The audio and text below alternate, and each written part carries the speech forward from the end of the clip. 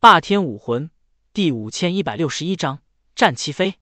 作者：千里牧尘。哈哈，原来你就是那个被两位公主殿下看好、平步青云，短短半个来月就从普通士兵成为了五城城防军统领的凌霄啊！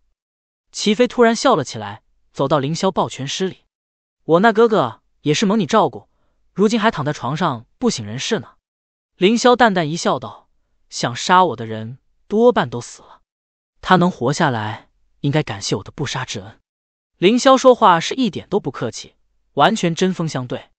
他很清楚，齐飞既然知道了武城发生的事情，那就是一定有人千里传音了。齐飞是不可能放过他的，无论他态度好坏，结果都是一样。那又何必遮遮掩掩呢？好一个狂妄的小子！刚刚还觉得你替那黄金王跑腿有几分可怜。现在却真得是难以让人生出怜悯之心啊！夜华的眼神变得冰冷起来。凌霄不知道齐飞给他灌输了什么，但这夜华真得是病得不轻。难道恋爱中的女人都这么傻吗？夜华，这位可是击败了齐恒，成为城防军统领的，背后又有两位公主青睐，狂妄一点也是正常。我倒是很感兴趣，这位兄台的实力，不如今天给咱们露两手如何？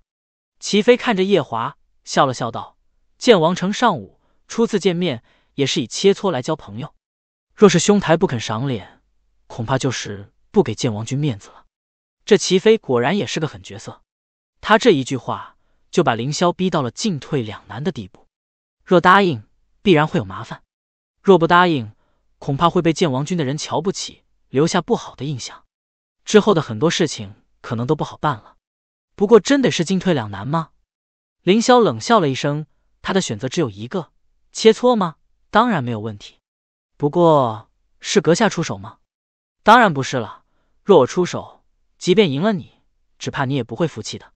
这样吧，听说你击败了我的哥哥，我哥哥齐恒是神体境八重巅峰修为的武者，不过刚刚突破，我就派一个神体境八重巅峰修为的武者与你一战，如何？齐飞这家伙还真是动了心思了。他今天提议切磋，只是想要挫挫凌霄的锐气而已，并非想要杀凌霄，因为他还不敢。光天化日之下对凌霄出手，剑王绝对会阻拦的，到时候反而是他有麻烦了。但教训一下，总该没问题吧？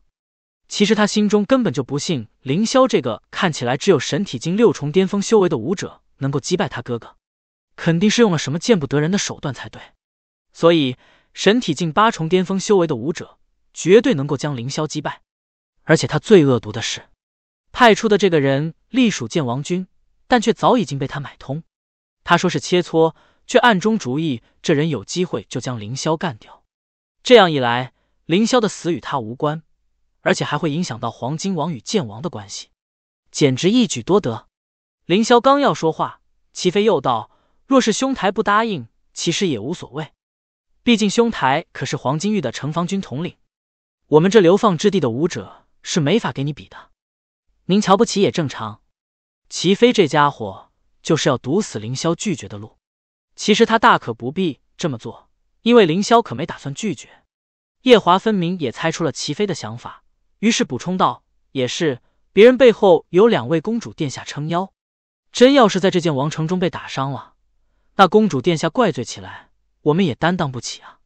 所以说，还是算了吧。”这位凌霄统领，我会把密旨交给父亲的。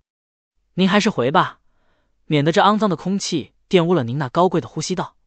叶华这个女人的话可以说是极为讽刺了。凌霄听罢却是一笑：“你们无非就是想要逼我动手吗？何必如今大费周章？我答应就是。”听到这话，叶华和齐飞都是一笑，正要找那神体境八重巅峰修为的武者出战，却被凌霄拒绝了。不必那么麻烦。这个提议是齐飞副将提出来的，不如就由齐飞副将与我切磋吧。”凌霄淡淡道，“您该不会怕输吧？”齐飞愣了一下，凌霄的提议打破了他的计划。如果他出手，可就没法击杀凌霄了。但夜华显然不知道齐飞的想法，还在那里撺掇：“齐飞哥哥，既然他那么希望出丑，就成全他吧，给这个不自量力的家伙一次教训，让他以后都不敢到剑王城来。”事到如今，齐飞也是没办法推脱了。他逼迫凌霄出手，凌霄答应了。凌霄让他出手，如果他拒绝，那就是他胆怯了罢了。齐飞看向凌霄道：“切磋归切磋，但拳脚无眼，若是伤到兄台，还望见谅。你伤不到我，因为击败你，我只需一招。”凌霄淡淡抽出逆神剑，冷漠的看着齐飞道：“上一次选拔上，他没有用九龙神诀，也没有在一开始就用魂剑术。”否则的话，齐恒一招就得输。今天不一样，他要狠狠震慑一下这些骄傲的剑王军武者，就得干脆利落的将齐飞击败。只是究竟要用九龙神诀，还是用魂剑术，这是个问题。你口气还真是大，也不怕风大闪了舌头。夜华讽刺道：“若是齐飞哥哥这么说，我还能接受。而你，齐飞也是一脸的笑意，你还真是看得起自己啊。”我可不是我哥那种废物，你击败我哥都花费了那么长时间，竟然敢说一招败我，我倒要看看你怎么败！迎宾楼中有专门切磋用的擂台，齐飞先一步跳了上去，他心中压着一团火。凌霄这兔崽子竟然敢瞧不起他，简直欺人太甚！来吧，齐飞为了不出丑，所以也并未轻敌，一开始就释放出了犬神武魂。而后选择了犬神附体，手中亮出一杆长枪，指向凌霄。凌霄跃上擂台，淡淡看了齐飞一眼，而后逆神剑中神元猛然凝聚。他最终决定用九龙神诀，魂剑术太隐蔽，无法达到震慑的效果。而九龙神诀则不一样，一条金黄色的神龙在逆神剑上跳跃，竟然被逆神剑的力量染成了黑色，邪恶的黑色。杀！凌霄第一瞬间就冲了出去，他说了一招败敌就一招败敌，所以不能给齐飞准备时间。若是齐飞反应过来，这一招就不灵了。九龙神诀虽然强大，可齐飞肯定有挡住或者躲开的方法，只有出其不意，才可能一招取胜。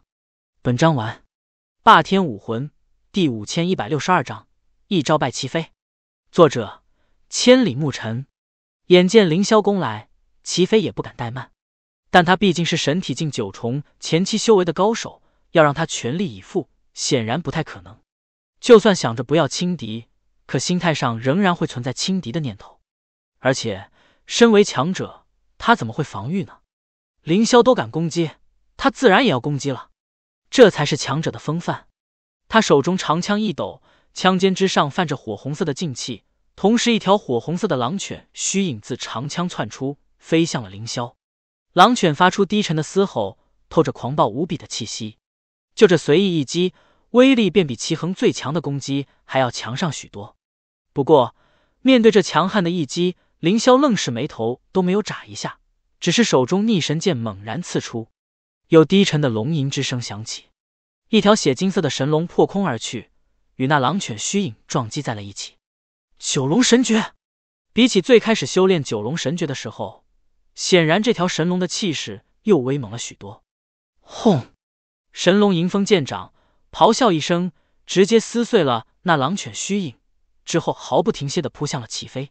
此时，两人之间的距离不过五六米而已。这短短的距离之内，齐飞是做不出任何反应的，因为九龙神诀的速度也是极快的，所以避无可避的，神龙直接装上了齐飞，将齐飞撞飞了出去。重重摔落在了擂台之上，张口就喷出浓浓的鲜血。这还得亏齐飞身上有防御宝物，在关键时候救了他一命。若无任何抵挡，这一击就能将齐飞直接诛杀。迎宾楼里一片死寂，原本对凌霄那轻蔑的眼神都变成了惊愕。谁能料到凌霄竟然真的一招就击败了齐飞？虽然这主要是靠着出其不意取胜的，但赢了就是赢了。即便齐飞不服气。也没有用，齐飞哥哥，夜华半晌才回过神来，急忙冲了过去。齐飞哥哥，你没事吧？他还死不了。凌霄的声音突然响起，不愧是齐家人，身上的防御法宝不错嘛。只可惜方才一击应该已经碎了吧？随着凌霄这话音落下，只听得咔嚓一声，从齐飞身上掉落下来一个护心镜。这护心镜释放的护臂可以瞬间护住要害部位。可惜九龙神诀威力实在太过强悍，连这东西都毁了。凌霄感觉到一阵疲惫不堪，不过这个时候显然不能倒下，所以他强撑着精神站在了那里。给我抓住他！夜华歇斯底里的吼道。虽然他这么吼了，不过他身旁的人却并未动手。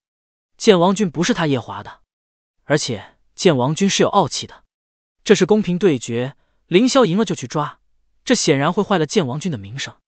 即便是那个效忠于齐飞的武者，也没有动手。他是埋藏在剑王军中的暗棋，若是他出手，就等于暴露了自己。而且说实话，他也没什么信心面对凌霄了。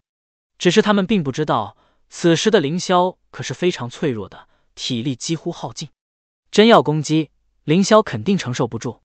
当然，凌霄身边还有冷梅和岳芳华，他们自然也不可能坐视不理。怎么，夜华副将这是要言而无信吗？把剑王军的面子？放在地上踩了，凌霄看向了夜华，讽刺道：“不知道这剑王为人如何，但他的这个女人真得是蠢的可以。我管你那么多，敢伤我齐飞哥哥，我要你命！”夜华看到旁人不愿意出手，于是亲自出手了。他的修为也达到了神体境九重前期，不过实战能力肯定比不过齐飞。岳芳华和冷梅都站了出来，他们当然要阻挡这个夜华。不过那齐飞倒是一点阻拦的意思都没有。不管是夜华杀了凌霄，还是凌霄杀了夜华，对他们齐家来说都是最有利的。妹妹，住手！突然，一个虚弱的声音响了起来。只见一个白衣少年坐在轮椅上，被人推到了迎宾楼。父亲担心你胡来，刻意命我前来查看。叶秋，凌霄看向了那少年。根据黄玉的描述，这应该就是叶秋了吧？经历了十年前那场变故。现在已经二十六岁的叶秋变得稳重了很多，不过也是几乎成了废人，不仅神元无法动用，而且双腿也没了知觉。那轮椅显然是请了名师打造，利用灵石驱动就可以带动轮子转动，甚至是飞行。上面还有不少的法阵波动，可以看出来是帮叶秋防身用的。而且为叶秋推着轮椅的那名女子实力也是非常之强。哥。叶华好像很怕自己的哥哥，尽管这个哥哥已经残废，他也似乎很是忌惮。不怪我，都是这个人，明明来了咱们剑王城，还敢出手伤人。我也是为咱们剑王军讨回一个公道。休要狡辩！叶秋冷冷道：“这些年，父亲因为我的事情，对你是格外溺爱，真是把你宠坏了。公平比武，输了就是输了，既然还要找别人麻烦，你这是想要我们剑王军的名声都变臭吗？回去！”带着齐飞赶紧去疗伤。哦，叶华无奈，恶狠狠瞪了凌霄一眼，吩咐人将齐飞背起来离开了。哗！叶华离开的那一瞬间，迎宾楼里忽然响起了热烈的掌声。为叶秋，更为凌霄。叶秋的公正、不骗不私，让他们尊重。凌霄以神体境六重巅峰修为，一招击败神体境九重前期的齐飞，更值得推崇。之前他们还听信了那齐飞所言。以为凌霄是用了什么不正当的手腕才夺取了城防军统领的职位，可是现在他们完全没有那种想法了。凌霄用他强劲的实力证明了自己，同时也让这些人对他的印象大为改观。或许这是齐飞怎么也没有料到的吧。一场切磋本是为了让凌霄出丑，甚至弄死凌霄，结果自己受伤不说，还丢尽了颜面。一直以来在军中树立的形象，可以说是瞬间崩塌了。当真是赔了夫人又折兵的感觉。林兄，家妹多有不敬，还望见谅。父亲今日有重要的客人要见，所以才没能出来迎接，还请不要在意。叶秋虽然说话中气不足，而且身体虚弱，但这个人确实比他那个妹妹好太多了。不管是说话还是行为举止，都透着一个将领应该有的风范。看来是个做大事的人，只可惜身体残废了，也无法使用神元。本章完。霸天武魂第五千一百六十三章叶秋华天一，作者千里牧尘。当然，凌霄不知道的是，叶秋早就到了。若是他凌霄输给齐飞，叶秋恐怕不会对他如此客气。这一切都是他用实力换来的。能问一句吗？若是方才齐飞真的要杀我，公子会否相救？凌霄可不是三岁小孩，轻易就被别人的热情所折服。他很清楚。这一切不用感激任何人，应该感激的是他的实力。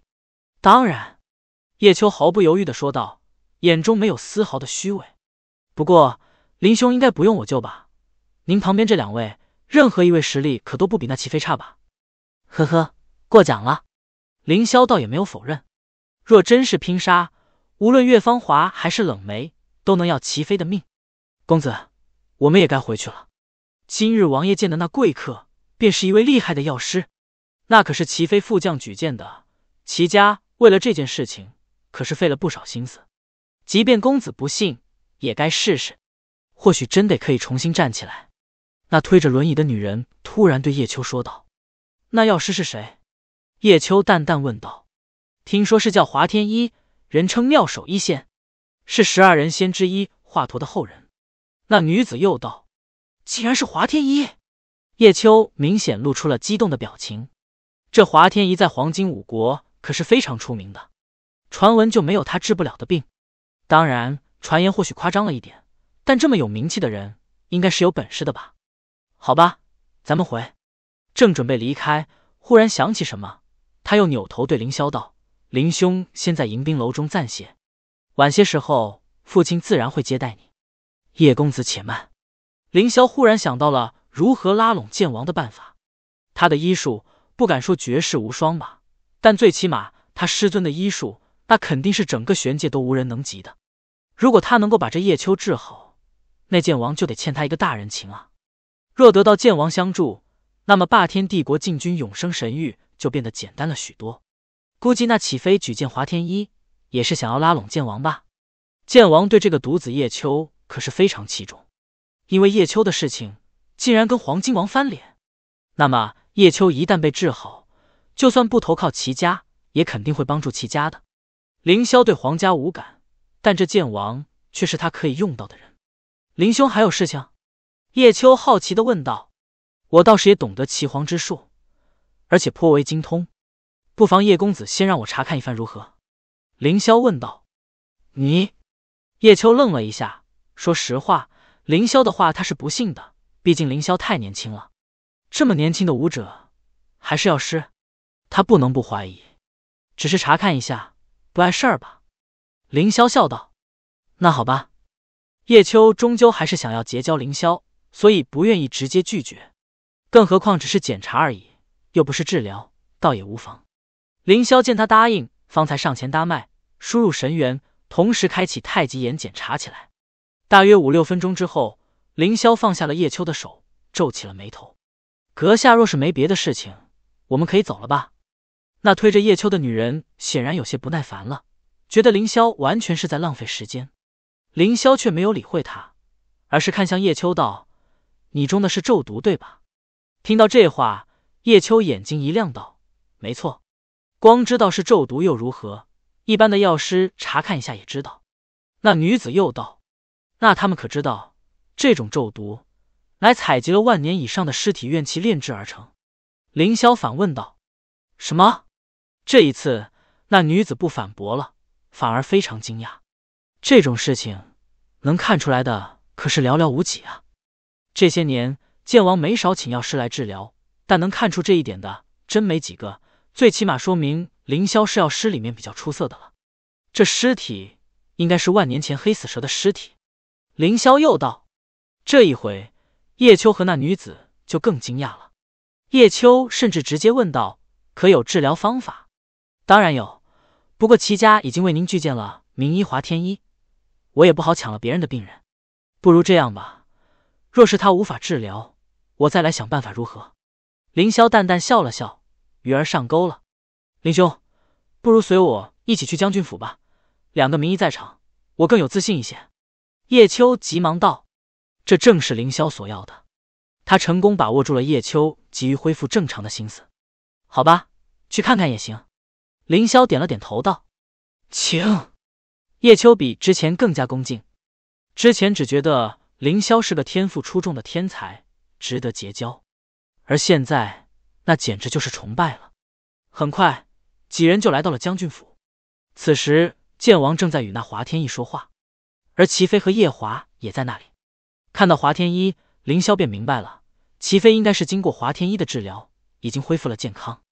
这华天一还真是有几分本事的，不简单啊！华天一须发皆白，俨然得到高人的模样，不过神情非常倨傲，即便是在剑王面前，也是端足了派头。秋儿回来了，这几位是？剑王看到叶秋回来，便笑着问道：“爹，就是那个家伙打伤了齐飞，卑鄙无耻的偷袭！”叶华突然大声道：“住口！”不等剑王表态。叶秋便厉声喝道：“叶华，你够了！什么时候竟然学会撒谎构陷了？明明是公平对决，在你眼里却成了偷袭。我不想再听到你在诋毁林大师，否则别怪我这个做哥哥的不客气。”听到这话，剑王等人都是一愣。林大师，凌霄什么时候成大师了？秋儿，你妹妹还小，不要那么责怪她。倒是你，为何与这人一起前来？我说过。不想见皇家派来的人。剑王皱眉道：“父亲，当年的事情明明是我自作主张拦截狂沙王，才会导致这样的下场，与黄金王无关。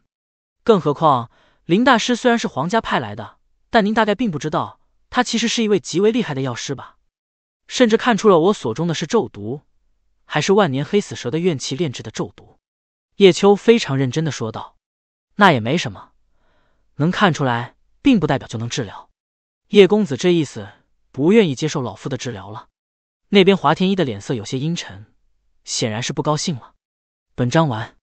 霸天武魂第五千一百六十四章黑死蛇咒毒。作者：千里暮尘。华前辈多虑了，晚辈早就听说过您的威名，特地来拜会的。解毒的事情，自然还要靠您。晚辈倒是可以替您打打下手。叶秋尚未说话。凌霄却笑道：“他今天来有两个目的，其一，如果华天一真能解毒，他必然要从中作梗，不让其成功，然后自己代替治疗；其二，如果华天一不能解毒，那他就代替华天一。因此，过早与华天一把关系搞僵，并不是什么明智之举。毕竟目前来说，剑王还是相信华天一更多的。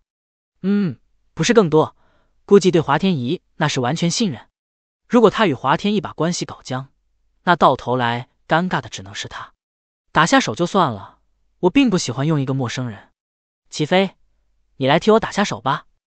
华天一淡淡看了凌霄一眼，显然再不把凌霄放在眼里。一个胆小怕事的小子，能对他构成多少威胁？而且华天一似乎也明白，眼下针对凌霄也不好，倒不如治好了叶秋之后，那时他说什么？估计剑王都会答应的，烦请叶秋公子进屋吧。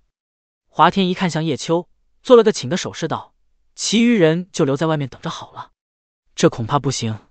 剑王皱眉道：“还是让我陪同吧。”他显然是担心有人要害叶秋，他却不在身边。以叶秋如今手无缚鸡之力的情况，会被暗算的。总不能一直坐在那轮椅之上吧？关键以前发生过这样的事情，险些酿成大错。罢了。剑王一人跟随即可，齐飞你也来吧。华天一并不坚持，点了点头道，随即便和剑王一起进入了房间之内。从一开始，剑王都未曾正眼看过凌霄一眼，似乎他这个人完全不存在似的。凌霄倒也能理解，这恐怕也是恨屋及乌啊。他做这皇家的使臣，还真是有些倒霉，倒不如以自己的身份来呢。不过事已至此，也不用想那么多了。剑王最起码没有像夜华那么排斥他，这就算不错了。华天一和剑王踏入房间之后，齐飞突然来到凌霄身边，压低了声音道：“凌霄，叶秋一旦治好，便是你的死期了。相信在这流放之地死一个黄金域外圈的城防军统领，估计也没有人会在意吧。”说完话，他便转身也进入了房间。看着那齐飞的背影，凌霄冷笑了一声，以为不让他进入房间，他就没辙了吗？走着瞧吧，林大师，那齐飞说了什么？叶秋好奇的问道。没事儿，公子赶紧去治疗吧。若察觉到有什么不对，尽管喊出来就是。若喊不出来，只需念头一动，我便能感觉到，会立即进去救你。其实凌霄觉得剑王挺好笑的，即便剑王跟进房间，又能如何？一个药师想要害人，还会让你看出来？除非是实力比这个药师更强的同行。不然，就算瞪大了眼睛也是白搭。他总感觉这齐飞不会那么好心。齐家可是想要得到剑王君，让齐飞跟叶华成亲的。如果叶秋恢复过来，那对齐飞绝对不是一件好事儿。希望他是杞人忧天吧。好，有了凌霄这番话，叶秋便有了底气。其实他还是更愿意相信凌霄的，因为凌霄的眼中有一股真诚，这是很难装出来的。而那华天一则太过世故。房门关上之后，凌霄便开启了太极眼，即便是站在外面，屋内的情况也能了若指掌。进屋之后，叶秋被扶到了病床之上，而后剑王便非常诚恳的看向了华天一道：“仙师，此番就拜托了，若能治好秋儿，我愿意答应您的请求。”听到这话，旁边的齐飞明显脸上一喜，估计这所谓的请求肯定跟齐家有关系吧？这齐家还真是用心良苦啊！华天一点了点头，便坐在了床边的椅子上，而后检查起了叶秋的情况。片刻之后，忽然脸色一变，道：“竟然是咒毒，而且是万年黑死蛇的怨气炼制而成。公子中毒时间太长了，已经毒入骨髓，便是大罗神仙恐怕也无法完全彻底驱除。”而且因为这咒毒长时间被剑王阁下以神元压制，一旦扩散，那将是破堤的洪水，拦也拦不住了。结果只有死路一条啊！江湖骗子基本上都是这个套路，先把对方的病情说得很严重，让对方绝望，然后再说自己能治疗，让对方把自己当成救世主。果不其然，剑王的脸色瞬间大变，竟然是差点晕了过去。纵然他是个硬汉，可是关系到儿子的性命。他也承受不了啊！仙师，您一定可以帮忙，对吧？剑王突然一把抓住华天一的肩膀，激动的问道，眼中透出希冀，那就仿佛是溺水的人希望可以抓住岸边的救生圈。将军，仙师一定没问题的。齐飞在一旁安慰道。华天一看看差不多了，便笑道：“虽然如此，但我祖上乃是十二人仙之一的华佗，你算是找对人了。恐怕这世上除了我之外。”再无别人能够救他，剑王明显松了口气。这个以往精明的将军，如今却完全是当局者迷了，被情绪彻底左右了他的思维。齐飞，拿工具。华天一对齐飞说了一声，道：“明白。”齐飞将早已经准备好的工具拿了出来，那是十几瓶奇异的药水以及三十多根银针。华天一对银针消毒之后，轻轻用药棉将药水涂抹在上面，刺入到了叶秋的穴位之中。随着银针入体，叶秋哼唧了一下，但并未有丝毫的痛楚。这老家伙医术真得很厉害，尤其是这施针技巧，当真是极为出色了。凌霄不由赞叹道：“主人，你怎么还有心思称赞那家伙啊？若是那华天一真得治好了叶秋，咱们可就倒霉了。”冷眉苦笑道：“无妨。”凌霄笑了笑，并未解释什么，依旧看着。此时华天一在施针。房间里可以说是鸦雀无声，屋外的人也不敢搞出什么动静。凌霄看到了叶秋身上那狰狞的咒毒痕迹，那仿佛是一条蛇盘踞在叶秋身体之中。这条蛇会慢慢长大，估计十年前还只是蚯蚓大小，而今却已经有一米多长了，几乎盘踞了叶秋整个身躯。看得他也是不由感叹：这叶秋竟然能活到现在，看起来是遇到贵人了。本章完，霸天武魂。第五千一百六十五章，救人还是害人？作者：千里暮尘。若非当年有贵人替他压制住了黑死蛇咒毒，恐怕叶秋早就死了，不会挨到今天。咦？凌霄忽然皱了皱眉，这家伙果然目的不纯啊！凌霄是行家，所以能看出华天意所做的事情，而屋内的剑王完全就是个外行，根本不知道华天意在鼓捣些什么。华天意所做的事情，他都没有反对，只是静静在那里看着，连大气都不敢喘一下。时间在一分一秒之中过去，华天意已经将那三十根银针全部扎在了叶秋的身上。仔细看去，竟然仿佛一座囚笼，将那蛇纹囚禁了起来。隐约之间，竟然有阵法的波动浮现，这不由让剑王眼前一亮，心中赞叹：仙师果然好本事，竟然除了岐黄之术外。还懂得阵法之术，此时他对这华天一显然是更加信任了。当银针完全用完之后，华天一便催动神元，灌注于那三十根银针之上。随着这个举动，那些银针颤抖了起来，而叶秋身体上的蛇纹竟然也开始颤抖起来，仿佛是在挣扎，想要逃跑。哪里逃？华天一额头上滴出冷汗，虽然看起来很辛苦，但却没有放弃治疗。这把剑王感动得一塌糊涂。他本就是个重情义的人，若是真有人救了他的儿子，他会一辈子感激的。随着治疗的继续，那蛇纹竟然越来越浅，最终完完全全消失了。与此同时，那三十根银针却变成了黑色，甚至还透着一股腥臭的气息。成功了！剑王激动的看向了华天一，问道：“十年了，他不知道请了多少名医为叶秋治疗，可最终都是功亏一篑。而今天竟然成功了，这让剑王感觉仿佛做梦一般。即便他知道这样的事情发生之后，他就得成为齐家的爪牙了，但他不会后悔。只要儿子能好起来，为齐家办事儿又如何？当然是成功了。这银针之上的黑色，便是咒毒所化。我先祖传下了银针驱毒之法，配合阵法，妙用无穷。那些药水也是祖传的秘方，这世上绝对没有第二个人懂得配置。本来这些我是不会轻易显露的，因此治疗一次。要消耗太多的精力，会疲惫不堪。今日为了贵公子，我也是玩命了。若是有一点差池，恐怕先死的会是我。那剧毒可不是好玩的。华天仪这番话，无非是告诉剑王，他治疗有多么多么的不容易，他的功劳有多么多么大。剑王扶着华天仪道：“仙师辛苦了，这一次的酬劳必然不会亏待了您。”对华天一来说，虽然他是齐家请来的。不过他自己也想得到一些好处，剑王的承诺让他心满意足。这些年，剑王镇守流放之地，可没少弄到宝贝。来人，把那几个来自黄金域的使臣抓了！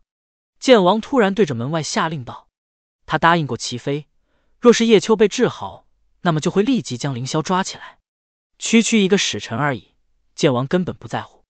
齐飞是要杀还是要剐，都随他的便。得令。”外面传来声音，齐飞露出了得意的笑容。凌霄啊，凌霄，没想到吧？上一次虽然因为大意败给了你，但你终究还是要死于我手啊！然而就在下一刻，外面传来惨叫之声，直接将房门都被撞碎了。凌霄独自一人从外面走了进来，冷梅和岳芳华正在战斗。剑王若是现在抓了我，我保证七日之后，叶秋就会毒发身亡。他看着剑王，毫不客气的说道。被人骗了还要替人数钱，说的就是你这样的吧？不仅自负，而且愚蠢。凌霄，你胆子好大，竟然敢在将军府动手，还诅咒叶秋公子！你这是要干些什么？齐飞厉声喝道：“诅咒！”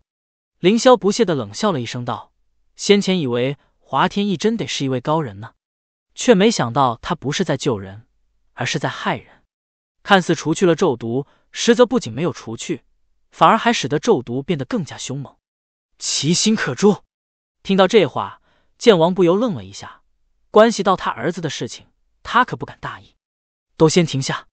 他对外面那些正在对付岳芳华和冷梅的人喝令道：“剑王阁下，我辛苦为贵公子治疗，如今却被人诽谤，难道您也要相信他吗？”华天一脸色骤然阴沉下来。但也能看到眼神中闪现的一抹慌张之意。仙师莫要生气，关系到犬子的安全，有些事情还是说清楚的好。剑王淡淡说了一句，而后看向了凌霄道：“小子，若你是胡言乱语，今日便要血溅当场。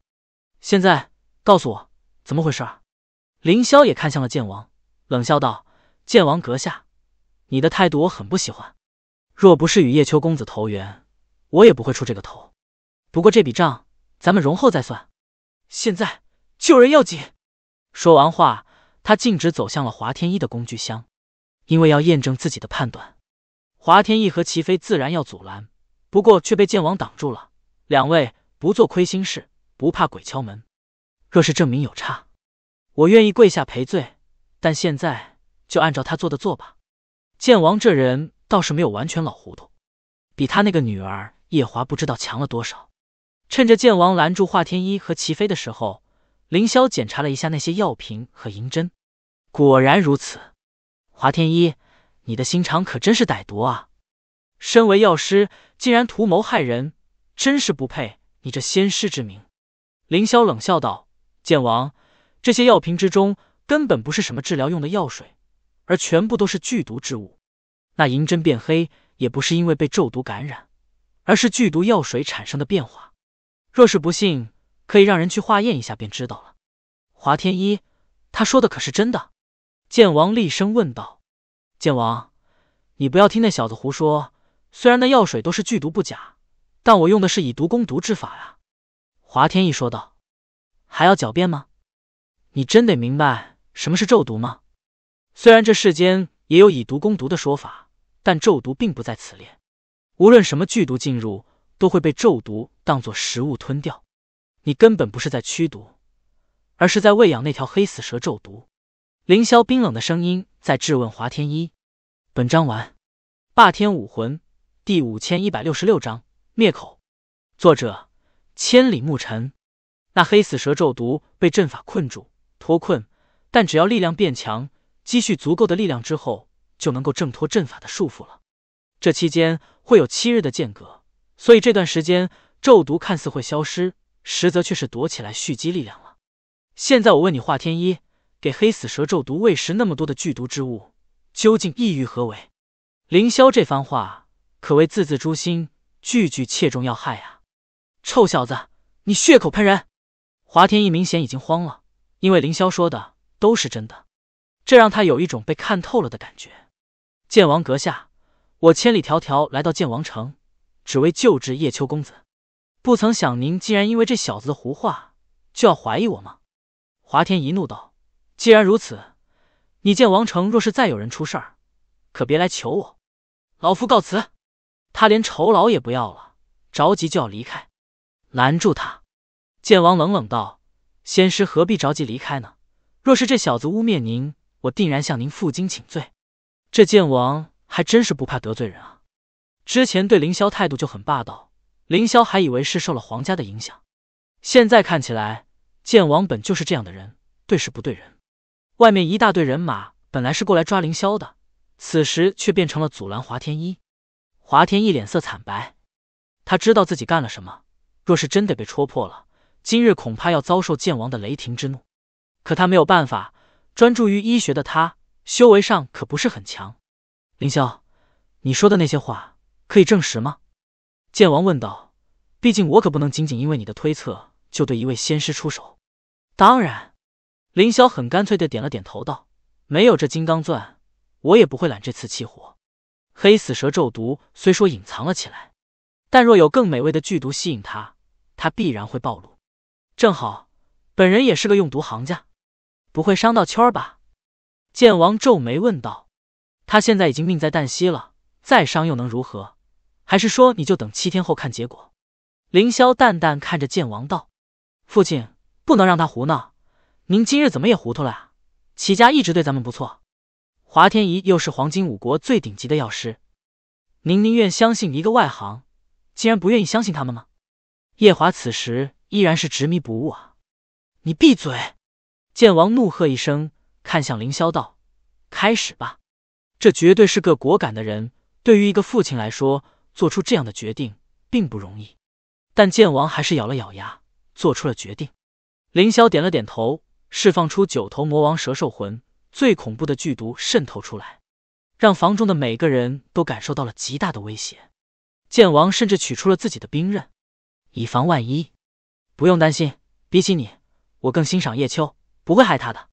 抗毒圣文，凌霄口中喃喃低语，而后以手为笔，在叶秋的身上篆刻了一个抗毒圣文，依然是一品圣文，这样就可以让叶秋。尽量免受剧毒之苦，竟然是圣文术！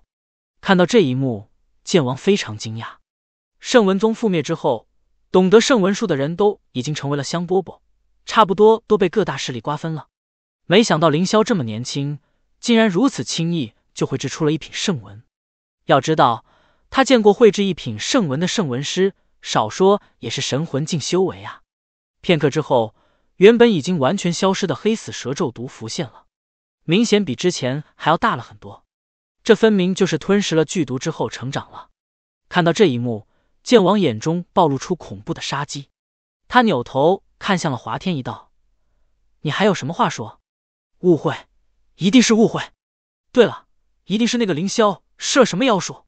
妙手一仙怎么可能会做这样的事情呢？夜华这个女人真得是彻底没救了。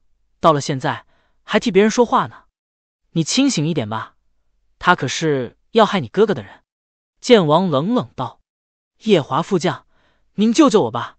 一定是那小子搞的鬼。”华天意突然靠近了夜华，还没等夜华反应过来，华天意突然变脸，一枚剧毒银针出现在了他的手中。都别过来，否则我就杀了他！仙师，夜华愣住了。他一直维护华天一，却没想到自己最后竟然成为了别人的人质。夜华副将，对不住了。那凌霄狡诈，您就先委屈成为我的人质吧。等我调查清楚了这件事情，再上门请罪。即便是到了这个时候，华天一依然在忽悠夜华。关键夜华这个蠢女人居然相信，她刻意挡住了剑王的攻击角度，让剑王无法攻击华天一。华天一慢慢朝后退去，小子，总有一天我会找你算账的，咱们没完。是。就在此时，华天一未曾防备过的一人发动了攻击，是齐飞。齐飞不知道何时竟然已经走到了华天一的身旁，华天一对他毫无防备，被齐飞一指穿透了太阳穴，身体软了下去，当场死亡，甚至连最后的话也没有说出来。剑王看了齐飞一眼，皱了皱眉。谁都看得出来，齐飞这是杀人灭口，但人已经死了，就是死无对证。齐飞急忙跪下道：“将军，是我识人不明，竟然让这种歹人害了叶秋公子。可是这家伙明明是黄金五国第一名医，实在不明白他为什么要那么做。恐怕你心里清楚的很吧？”凌霄笑了笑道：“杀人灭口这一招的确干得漂亮，你反应不可谓不快，只可惜啊。”你的计划恐怕是要落空了。你说什么？我完全听不懂。齐飞干笑着说道，他心中已经把凌霄恨死了。若今天没有凌霄，在场的谁也看不出华天移动了什么手脚。七天时间足够他干很多事情了，计划就会顺利按照他的安排进行。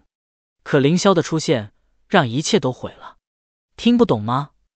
也罢，凌霄不再说了。现在死无对证。说什么也没意义，齐家会把脏水完全泼在华天意身上的。将军，我会把这件事情调查清楚的，先告辞了。齐飞拱了拱手，转身离去。就让他这么走了，真好吗？凌霄看向剑王道：“您应该清楚，华天一做的事情都是齐家安排的。口说无凭，即便我知道又如何？他下手太快了。”剑王摇了摇头道：“他现在还不想得罪齐家。”本章完，霸天武魂第五千一百六十七章人神逆，作者千里牧尘。如果我告诉你我能救活叶秋呢？凌霄笑道：“此话当真？”剑王瞪大了眼睛道：“自然当真，我可不是华天一那种骗子。”凌霄道：“若你能治好叶秋，齐飞和齐家安排在剑王城的人，我自然会连根拔起，从此宣布效命皇家。”剑王道：“不不不！”凌霄摇了摇头道：“这是你欠我的人情，可不是欠皇家的。我希望您能帮我一些忙。帮忙？不必那么麻烦。若你能治好叶秋，我见王军从此听命于你。”剑王说道：“此话可谓是掷地有声啊！从他嘴里说出来，基本上就不会骗人。好，爽快，要的就是你这句话。不过这个事儿容后再说，救治叶秋要紧。”凌霄道：“要救治叶秋，需要几味药材，你马上派人去找，越快越好。七天之内找到，我有十成把握；若是过了七天，则真得是大罗神仙也难救了。”说着话，他将自己需要的药材写在了上面。其实哪里需要什么药材啊？他写在那上面的，不过是自己想要炼制别的丹药的药材。将来霸天帝国那边来了武者，一开始必须得凭借丹药来提升实力。他要的那些药材，大部分都是炼制法则丹的药材。虽然说法则丹的主料是法则之花，不过辅助药材也是必不可少的。凌霄身上恰巧没有，正好借用一下剑王城的力量，也是考察一下剑王君的实力。同时，驱毒太过容易的话，会让人觉得他这事儿办的太轻松的，那可不好。我现在就派人去搜集药材，林大师也不必去迎宾楼了，直接住在将军府。我会命人收拾出厢房的。剑王道：“听将军的。”凌霄点了点头，住在将军府也是为了让剑王安心。另外，这里肯定要更安全一些。那齐飞被他破坏了计划，不可能会放过他的，肯定会想方设法弄死他。谁知道齐飞在这里有没有别的帮手？凌霄离开之后，夜华便道：“父亲，你难道真觉得那个凌霄能把哥哥治好？华天意都不行，凌霄就行？”剑王叹了口气，说实话，他这也是被逼无奈了呀。如果真如凌霄所说，叶秋只有七天可活了。他能怎么办？除了相信凌霄之外，还有别的什么办法吗？没有，听天由命吧。若是这小子胆敢骗我，我一定杀了他。若是他真有本事，我将这条命卖给他又如何？剑王咬了咬牙道：“父亲，我回去了。”叶华叹了口气，他现在很是矛盾，既害怕凌霄能够治好叶秋，又希望凌霄能够治好叶秋。经过一天的折腾，众人也都累了。于是，凌霄、岳芳华和冷梅都盘膝坐在房中休息起来。武者休息都是如此，在休息之中依然能够修炼。第二日清晨，外面突然乱了起来。凌霄，公主殿下要见你，是钟灵的声音。凌霄睁开了眼睛，皱了皱眉，没想到黄雪这么快就到了。他实在不想见这个公主殿下。这位黄雪公主满脑子都是算计，跟这女人待在一起太累。脑细胞一刻也不能休息。不过眼下他有自己的计划，暂时还不想跟黄雪闹翻，于是收拾了一下就出了门。黄雪就住在将军府旁边的皇家行宫之中。这行宫常年无人居住，但却一直都有人打扫，还是很干净的。不管环境还是面积，都要比将军府更加优越。凌霄，谁给你的胆子，竟然还接下这样的活儿？要是失败了怎么办？你怎么跟我父王交代？黄雪看到凌霄，劈头盖脸就是一顿训斥。公主殿下，你办你的事情，我办我的事情，井水不犯河水，何必生那么大气呢？凌霄懒洋洋的看了黄雪一眼，道：“这个女人这一次也算是盟友了，不过也是危险的盟友。关键时候，谁也不知道这女人会帮哪个。你还真是和以前一样傲慢。”黄雪冷冷道：“不过你似乎忘记了，这里不是黄金玉。”也没有黄玉那丫头在，我若真杀了你，好像也没什么，反正流放之地死个把人，很正常。那公主殿下为什么还不动手呢？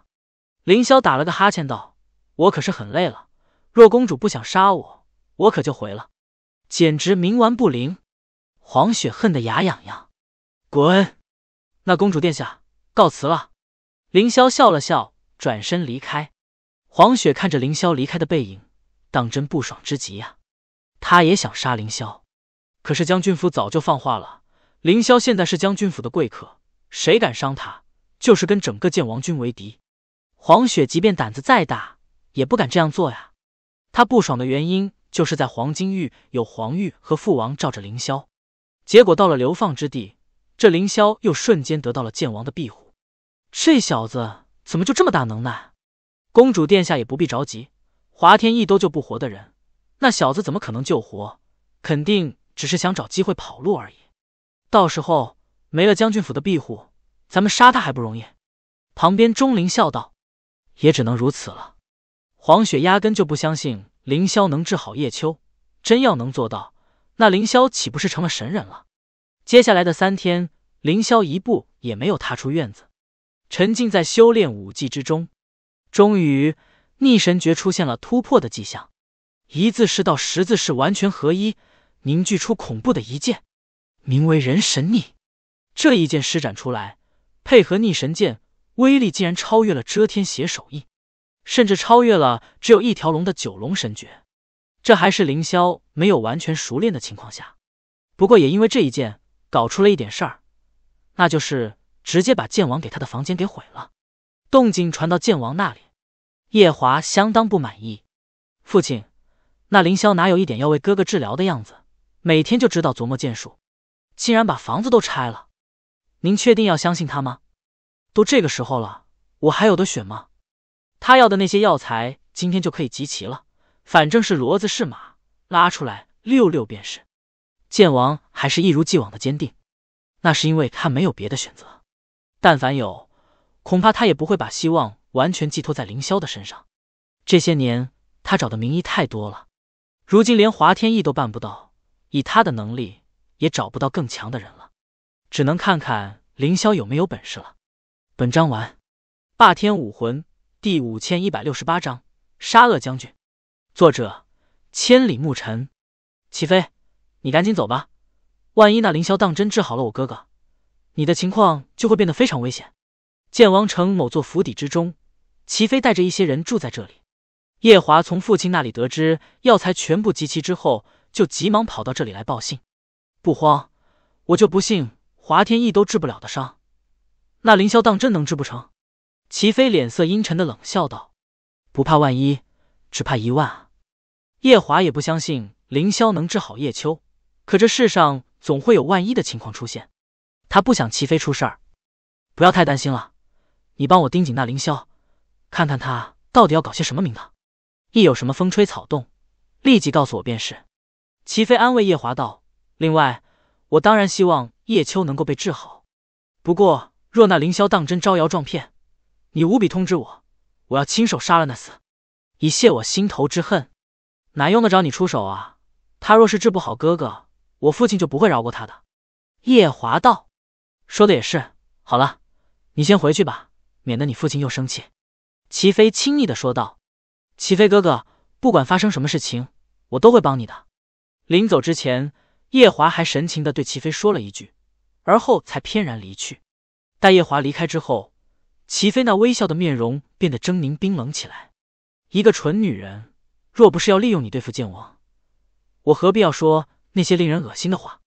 他已经占有了夜华的身体，却从未把夜华当回事儿，因为这女人实在太蠢了，根本不适合做他的女人。不过长得倒是不错，玩弄一下也挺有滋味的。公子这么做，是不是对一个女人太过残忍了一些？房间中打开了一扇暗门，一人从其中走了出来，浑身透着凶煞的气息，狰狞无比。如果剑王在这里，一定会认出此人，竟然是狂沙王手下左膀右臂之一的沙恶将军。狂沙王有两个强大的手下，沙恶将军最擅长的便是刺杀。当然，他出现在这里，并非要刺杀齐飞，而是有事情要商量。大丈夫做事不拘小节。齐飞淡淡道：“倒是如今叶秋这个事情成为了麻烦。那凌霄我可是见识过的，绝对不是个蠢人。”他口口声声说自己能够治愈叶秋，虽然我认为不过是胡话，但也不可不防。所以这一次请沙恶将军过来，便是商量此事的。公子也未免太谨慎了一点吧？那黑死蛇咒毒在叶秋的身体里待了那么多年了，你可曾见过有人能够破解？我们老大的咒毒，除了他自己，别人根本不可能破解的。所以说嘛，当初为什么不直接请我们老大出手？却去找什么华天一？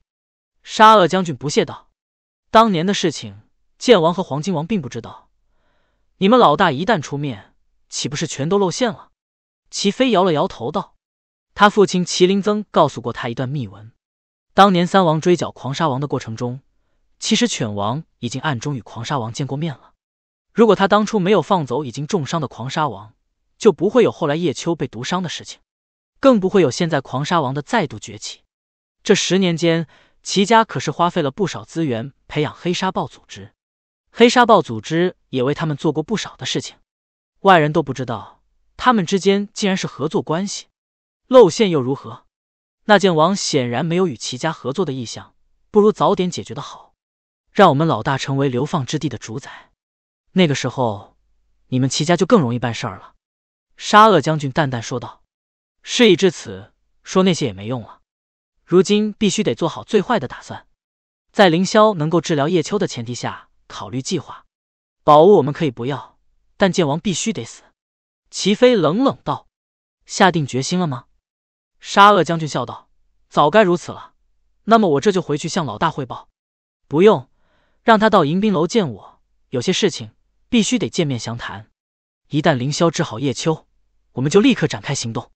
他们不是想要那法则之花和神明之果吗？咱们就给他来个守株待兔。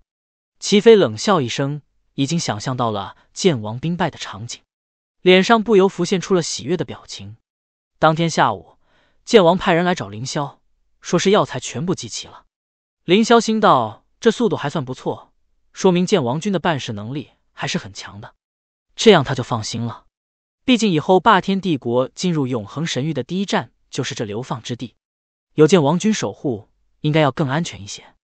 带我去吧。凌霄起身盥洗之后，便跟着前来找他的人一起前往了。岳芳华和冷梅依旧跟在旁边，他们现在可是凌霄的保镖，不能随便离开的。当凌霄来到房间的时候，剑王叶华以及叶秋的母亲等人都等在了那里。林大师，药材已经齐备，不知道今日可否就开始？剑王是救子心切啊！药材给我。凌霄淡淡道：“把东西给林大师。”剑王吩咐道：“旁边一人应该是剑王的心腹，所有的药材都在他的储物戒里。”凌霄转过来之后便笑道：“不错，都是质量顶尖的药材，看起来剑王费心了。那圈儿是不是有救了？”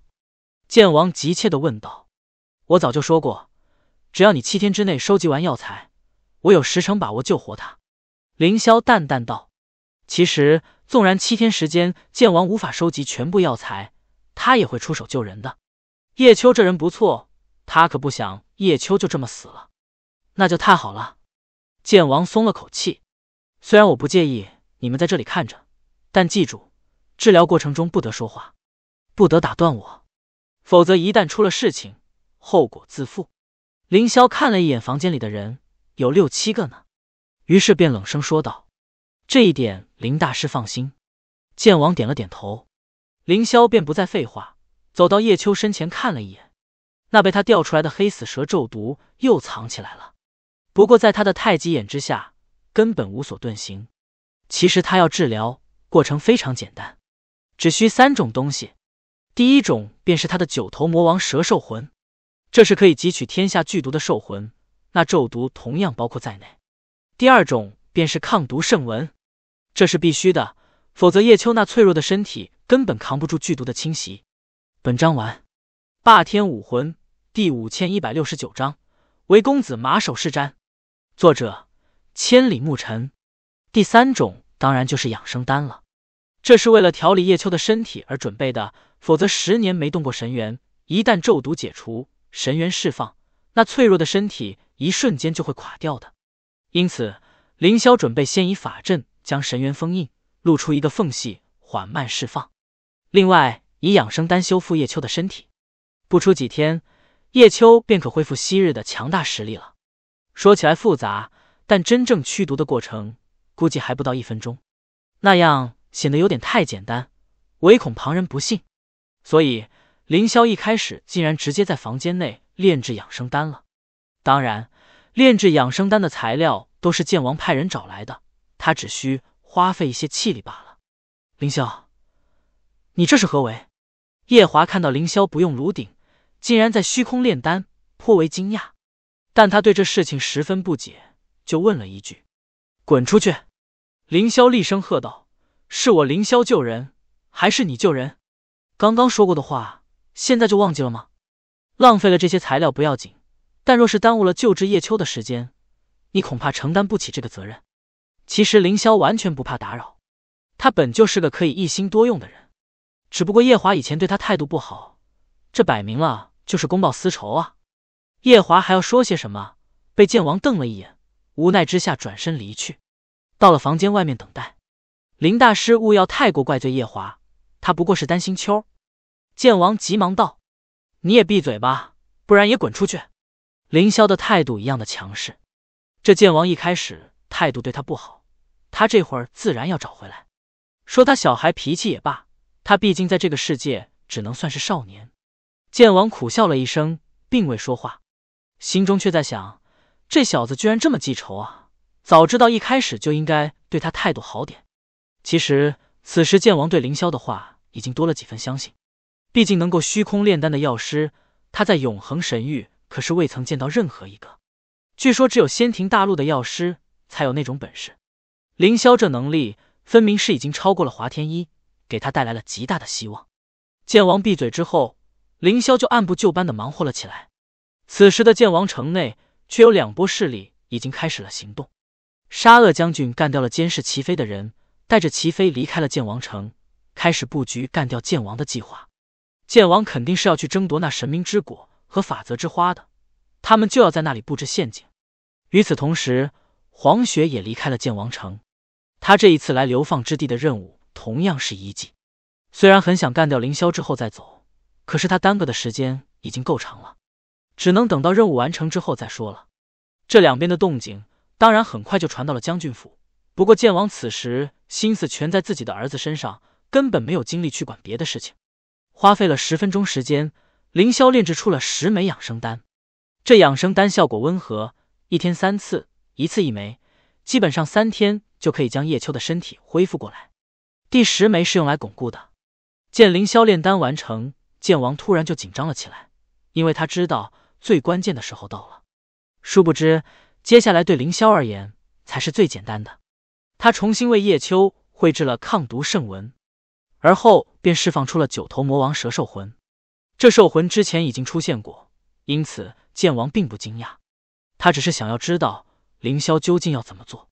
凌霄右手点出，摁在了叶秋的身上。九头魔王蛇兽魂开始汲取叶秋体内的毒素，这咒毒已经有了自己的神智，汲取可不是很容易。不过凌霄自然有自己的办法，一道魂剑自他眉心射出，准确无误的斩杀了咒毒的神智。没了意识的咒毒，那就是死物，根本不会反抗的。整个过程简单的不费吹灰之力。刚刚那是灵魂秘法吗？虽然看不到，却感觉到了强大的灵魂波动。这个凌霄可真得是个谜啊！高超的炼丹术，还懂得圣文术，如今还暴露了强大的灵魂秘法，这个人不简单啊！剑王原本想等凌霄治好叶秋之后投靠，可是心里头终归有些不甘，毕竟每个人都想投一个明主，他对凌霄终究是有些不太满意。一个少年而已，要他效力，还真是不服气啊！但经过这几次的事情之后，他渐渐觉得。这凌霄真得不是个一般人啊！或许跟随这个凌霄也不失为一个聪明的选择。咒毒其实，在短短几十秒之内就已经被完全吸收了。不过凌霄依旧在那里装模作样，总得显出自己很辛苦，不是吗？剑王明显能看到自己儿子的皮肤渐渐恢复了正常的颜色，他心中一喜，简直想要跳起来欢呼。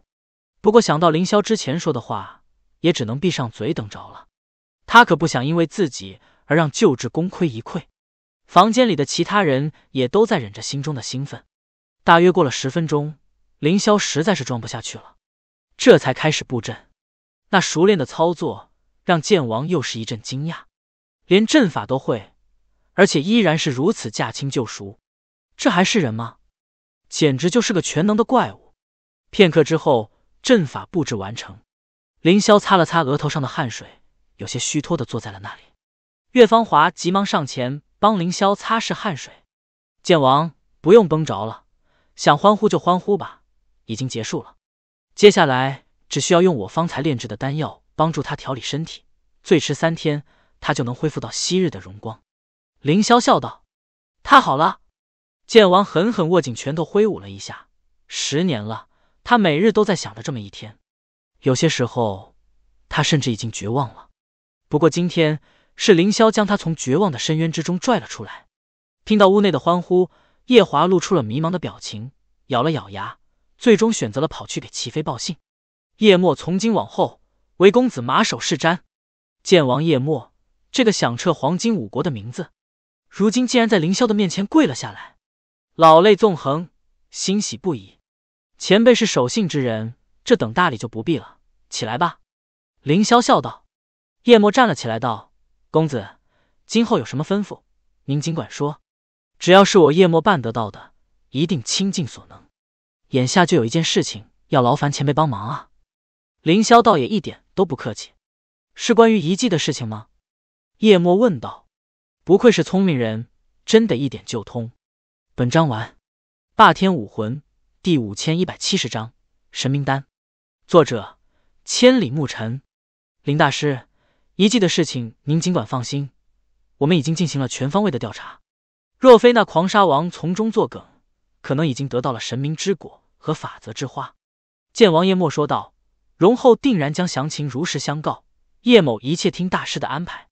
林大师，这听着真别扭，还是叫我公子吧。林霄苦笑道。叶秋应该快要醒了，你就先陪陪他吧。之后咱们再说遗迹的事情。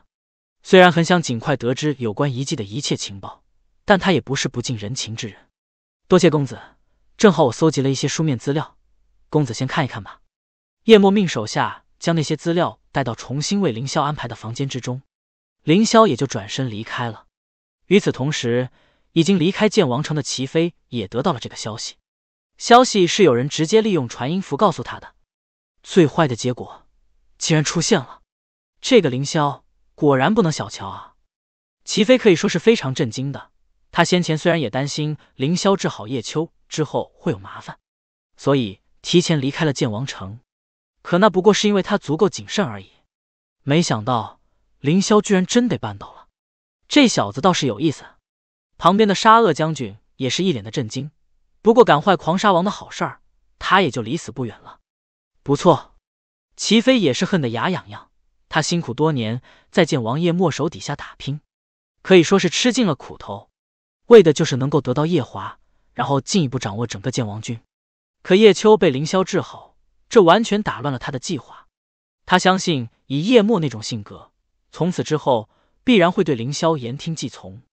他苦心经营的一切都毁了，除了夜华这个蠢女人，或许还可以利用一下。齐公子，眼下遗迹的事情好像变得有些麻烦了。叶墨如今肯定是会与那黄雪合作的。本来老大与叶墨对峙就已经够辛苦了，现在再来一个黄雪，情况对咱们很是不利啊。沙恶将军皱眉道。齐飞却冷笑道：“正面对抗当然不行，先去见狂沙王，商量一下接下来要做的事情。这神明之果，我必须得得到。既然叶墨不识好歹。”那就只能将他一起除掉了。那个叶秋刚刚解毒成功，没几个月是不可能恢复的。所以，只要在这个时间段杀了叶墨和叶秋，再把这些嫁祸给皇家的人，我就可以跟叶华成亲，依旧能够接管剑王军。难怪当年犬王会派你过来，齐公子当真是人中灵杰啊！跟你为敌，恐怕真是不会有什么好结果的。沙恶将军看到齐飞那恶毒的眼神，都不由打了个寒战。这小子真是狠毒啊！如果这个计划成功了，那么简直就是一弹多鸟。大约半个小时之后，将军府的议事厅内，叶墨和叶秋都出现在了那里。凌霄则带着岳芳华和冷梅过来了。众人准备在这里商议一下遗迹的事情。叶墨看着叶秋，满眼都是欢喜和庆幸，仿佛一下子年轻了十多岁似的。也是，压在心头十年的石头终于落地了。真得是有一种非常舒畅的感觉。叶秋恢复的速度也超出了叶墨的意料，他相信这肯定是凌霄的功劳。那看似普通的丹药，却蕴含着让人惊叹的效果。公子大恩不言谢，以后有用得着的地方尽管吩咐。叶秋站了起来，冲凌霄拱了拱手道：“要是换了一般人，双腿不能动长达十年时间，根本不可能在短时间内站起来。但叶秋可以，他好歹……”也是曾经的神魂境强者，天赋不输杨奇和殷离的绝世天才。更何况凌霄这个药师可不是吹的，炼制的丹药效果极为出色，也是能让叶秋站起来的重要原因。那我可就却之不恭了呀！凌霄一点也没谦虚，他本来就与叶墨、叶秋素不相识，救人也没有要别的酬劳，为的就是这父子两个能为他效忠，这是他应得的。没必要扭扭捏捏不肯接受，哼，公子爽快，那么多余的话就不说了，咱们就谈谈这一季的事情吧。公子此次前来，名义上是为皇家游说叶某，实际上应该是冲着遗迹来的吧？叶墨笑道：“算是吧。”凌霄点了点头道：“这一季之中的法则之花，关系到了我的计划，所以必须得得到。至于那神明之果，如果可以，当然也想要了。”关于这计划，等夺宝结束之后，自然会告诉你。毕竟剑王阁下可是我这计划之中不可或缺的一环。凌霄的野心很大，是别人根本不敢想象的野心。一统玄界，恐怕这世间最强的主宰之王也没想过吧？主宰之王虽然强悍，但民间却也不乏强者。他为了保持自己现在的地位，肯定不敢轻易得罪。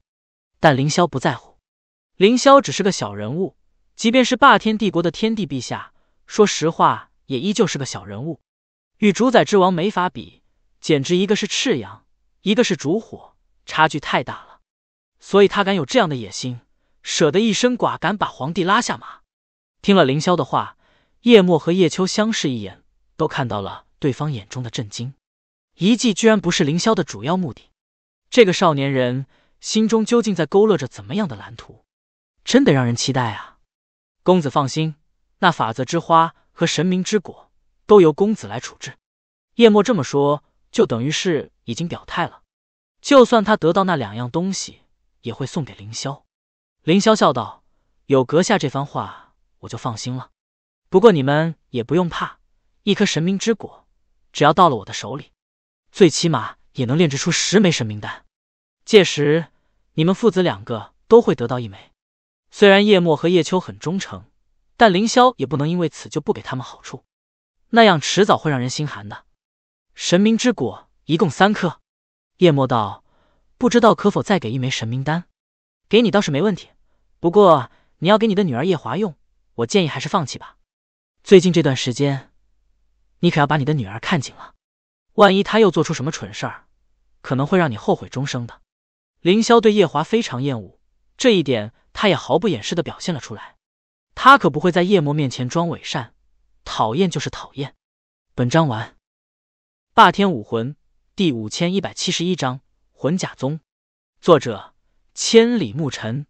叶华这个女人，凌霄救了他哥哥，她竟然连一句道歉的话都没有，反而一心想着齐飞。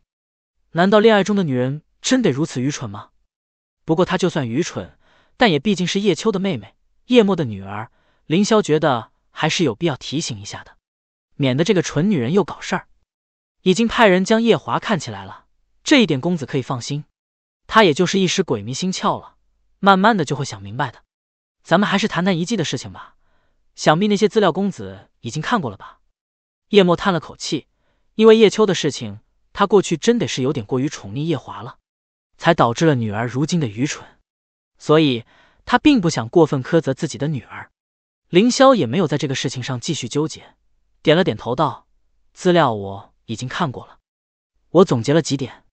第一，遗迹很危险，不仅仅因为黑沙暴组织，更因为那遗迹里面有强大的妖兽。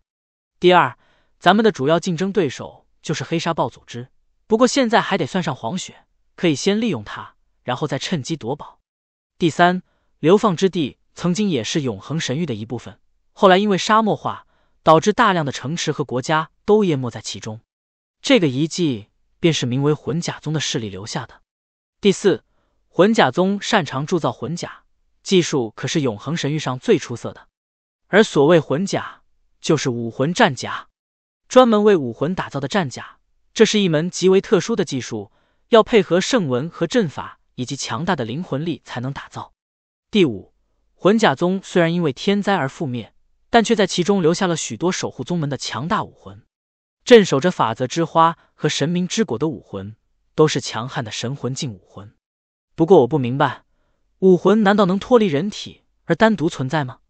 说到这里，凌霄突然问了一句：“并不是单独存在，他们实际上还是根植于武者的灵魂之中。”这些武魂都穿有魂甲，魂甲之上有魂甲宗强者的灵魂烙印。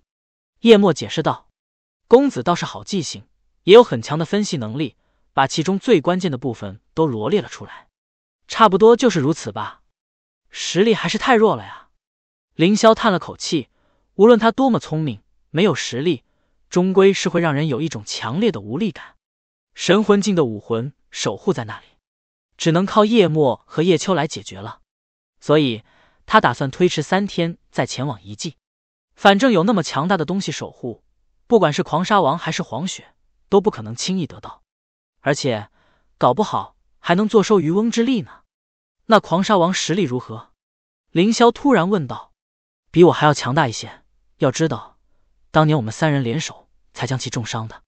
叶墨苦笑道：“狂沙王或许比剑王阁下更强，但绝对没你说的那么夸张。虽说是三人联手，实际上有一个人恐怕是从中掣肘吧。”凌霄指的就是犬王。对了，让你监视齐飞，怎么样了？听到这个问题，叶墨突然苦笑摇头：“被干掉了，监视的人一个没留，全部都被吸干了血液。这手段倒是很像狂沙王手下的沙恶将军干的。”这么一说就清晰了。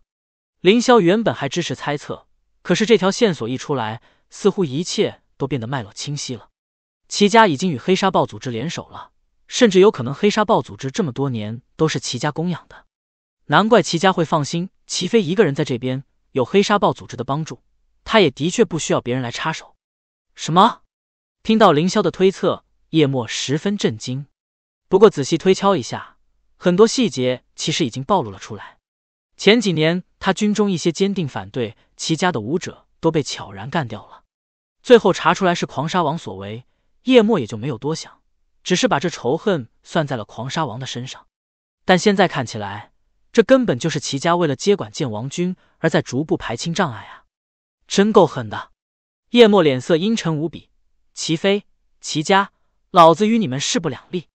他是个爱兵如子之人，手下被干掉了好些个，岂能不怒？既然齐飞已经与狂沙王合作，反而可以放心了。目标只有一个了。凌霄冷笑道：“剑王。”此次一计之行危险重重，所以只需抽调一些精锐即可。另外，城中也必须有所防备。我猜那齐飞必然还有后手，而且你必须在这三天时间内把齐家的人从剑王军中剔除出去。能办到吗？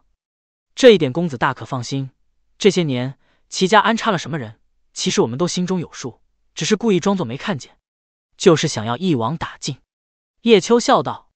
好，既然如此，就好办了。清除卧底的事情，就就交给叶秋你了。剑王前辈，你要做的就是将神体境九重以上的武者聚集起来，一半留守剑王城，另外一半前往遗迹，没问题吧？凌霄直接就安排了起来。既然叶墨和叶秋对他言听计从，也就没什么好客气的了。遵命。叶墨与叶秋相视一眼，都看出了彼此眼中的认真与郑重。凌霄这一番命令，显然不像是一个没经历过战事的人，而且安排妥当，与他们心中所想一致，他们自然没有反对的必要。我也要在这三天时间里为剑王城布置一座阵法，以防万一。剑王，你给我派个人，这剑王城我毕竟还不熟悉。凌霄道：“没问题。”叶墨派遣了自己最得力的手下协助凌霄，凌霄带了人就离开了。看着他离开的身影。叶墨不由感慨：“秋儿，这一次咱们或许真得跟对了人了。没想到否极泰来啊，坏事反而变成了好事儿。不错，这位林兄不光天赋卓绝，而且擅长医术、圣文、阵法，简直无所不能。”叶秋用崇拜的目光看着凌霄的背影，说道：“对这个救命恩人，他已经在心中发誓，用自己的性命去守护。接下来三日之间。”凌霄忙于布置阵法，叶墨和叶秋也都有自己的事情。潜藏在剑王军中的那些老鼠，一个个被揪出来，然后干掉了。既然与齐家决裂，就没必要再心慈手软。本身间谍就是这世上最被讨厌的存在，即便两军对垒，不杀俘虏，可是间谍都是必须要杀的对象。本章完。霸天武魂第五千一百七十二章：剑王城的末日。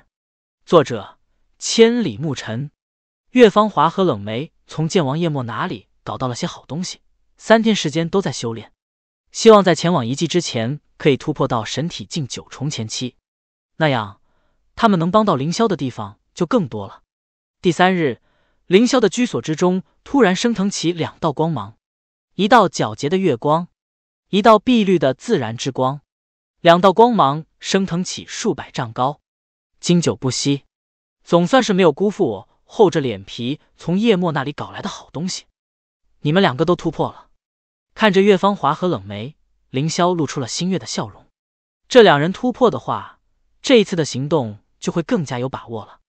走吧，叶墨和叶秋已经在外面等着我们了，不要让别人等得太久。两人点了点头，起身收拾了一下，便跟着凌霄出了房间，直奔城外而去。城外，叶墨、叶秋以及一众精英武者都在那里等着了。叶秋如今已经完全恢复，不仅如此，因为十年的积蓄，他恢复之后竟然连续突破，实力达到了神魂境三重巅峰。在他这个年纪。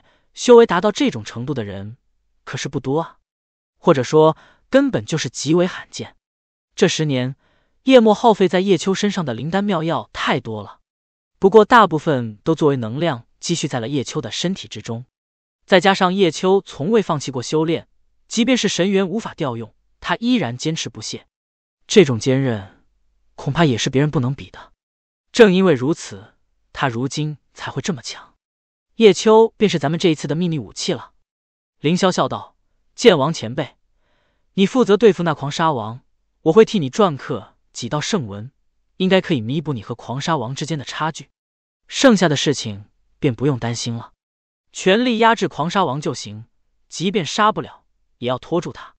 狂沙王手下的沙恶将军和毒蝎将军就交给前辈手下的高手了，没问题吧？自然没问题。我见王军除了我之外。”还有两个不输给沙恶将军与毒蝎将军的神魂境高手，这两人是我手底下的最强副将。虽然见王军副将很多，不过还是有排行的。叶墨回答道：“那就好。”凌霄点了点头，不说废话了，立即出发吧。出发！叶墨朝着众人挥了挥手，上百人的队伍开始朝着魂甲宗遗迹方向而去。队伍行进速度很快，宛若一道洪流在沙漠之上飞奔。不过他们并未轻敌，时时刻刻都防备着偷袭。只不过这方面交给冷梅来负责就没问题了。虽然是沙漠，可是也有很多沙漠植物，这一点对他来说很简单。魂甲宗遗迹附近有一个天然的地下洞穴，狂沙王将这里当成了自己的临时营地。齐飞此时正坐在那里和狂沙王谈论着遗迹的事情。三天时间了，剑王城终于有了动静。我们是不是也该要行动了？齐飞等不及了，他想要快些看到凌霄去死，看到叶墨去死。慌什么？那黄金玉来的黄雪公主之前进入了遗迹，结果也是碰了一鼻子灰出来。这遗迹有些古怪，单凭一方的势力，恐怕无法得到宝物，搞不好暂时还要跟那剑王军合作呢。说话的是一个披头散发、一身黑衣的武者，此人长着一张天生的反派脸。无论什么表情，都能让人感觉到他在寻思什么坏主意。他的声音不大，但却透着狡诈与世故。这便是狂沙王。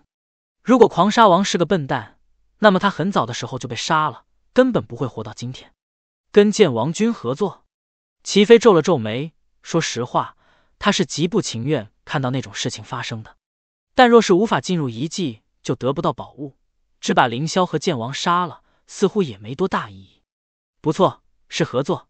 当然了，合作的时候，你的计划也可以继续实施。其实我也很想看到叶墨返回剑王城之后，看到一片废墟的样子。狂沙王冷笑道：“你比我更毒。”齐飞看着狂沙王，倒吸了一口凉气。表面上笑眯眯的谈合作，背地里却对别人的老巢发动攻击，的确是可怕。这是那叶墨自找的，十年前的仇，我可没有忘。狂沙王冷冷道：“这一次流放之地，很多高手都被我说动了。他们这些年被剑王城监视着，无法逃走。但若是剑王城被毁，他们便可以逃出升天了。哪怕是去四域九界那样的地方，也比待在流放之地受苦要强。确定没有问题吗？剑王城矗立在流放之地这么多年，也从未有人能将其攻破。即便是你也不行。而其余人里头……”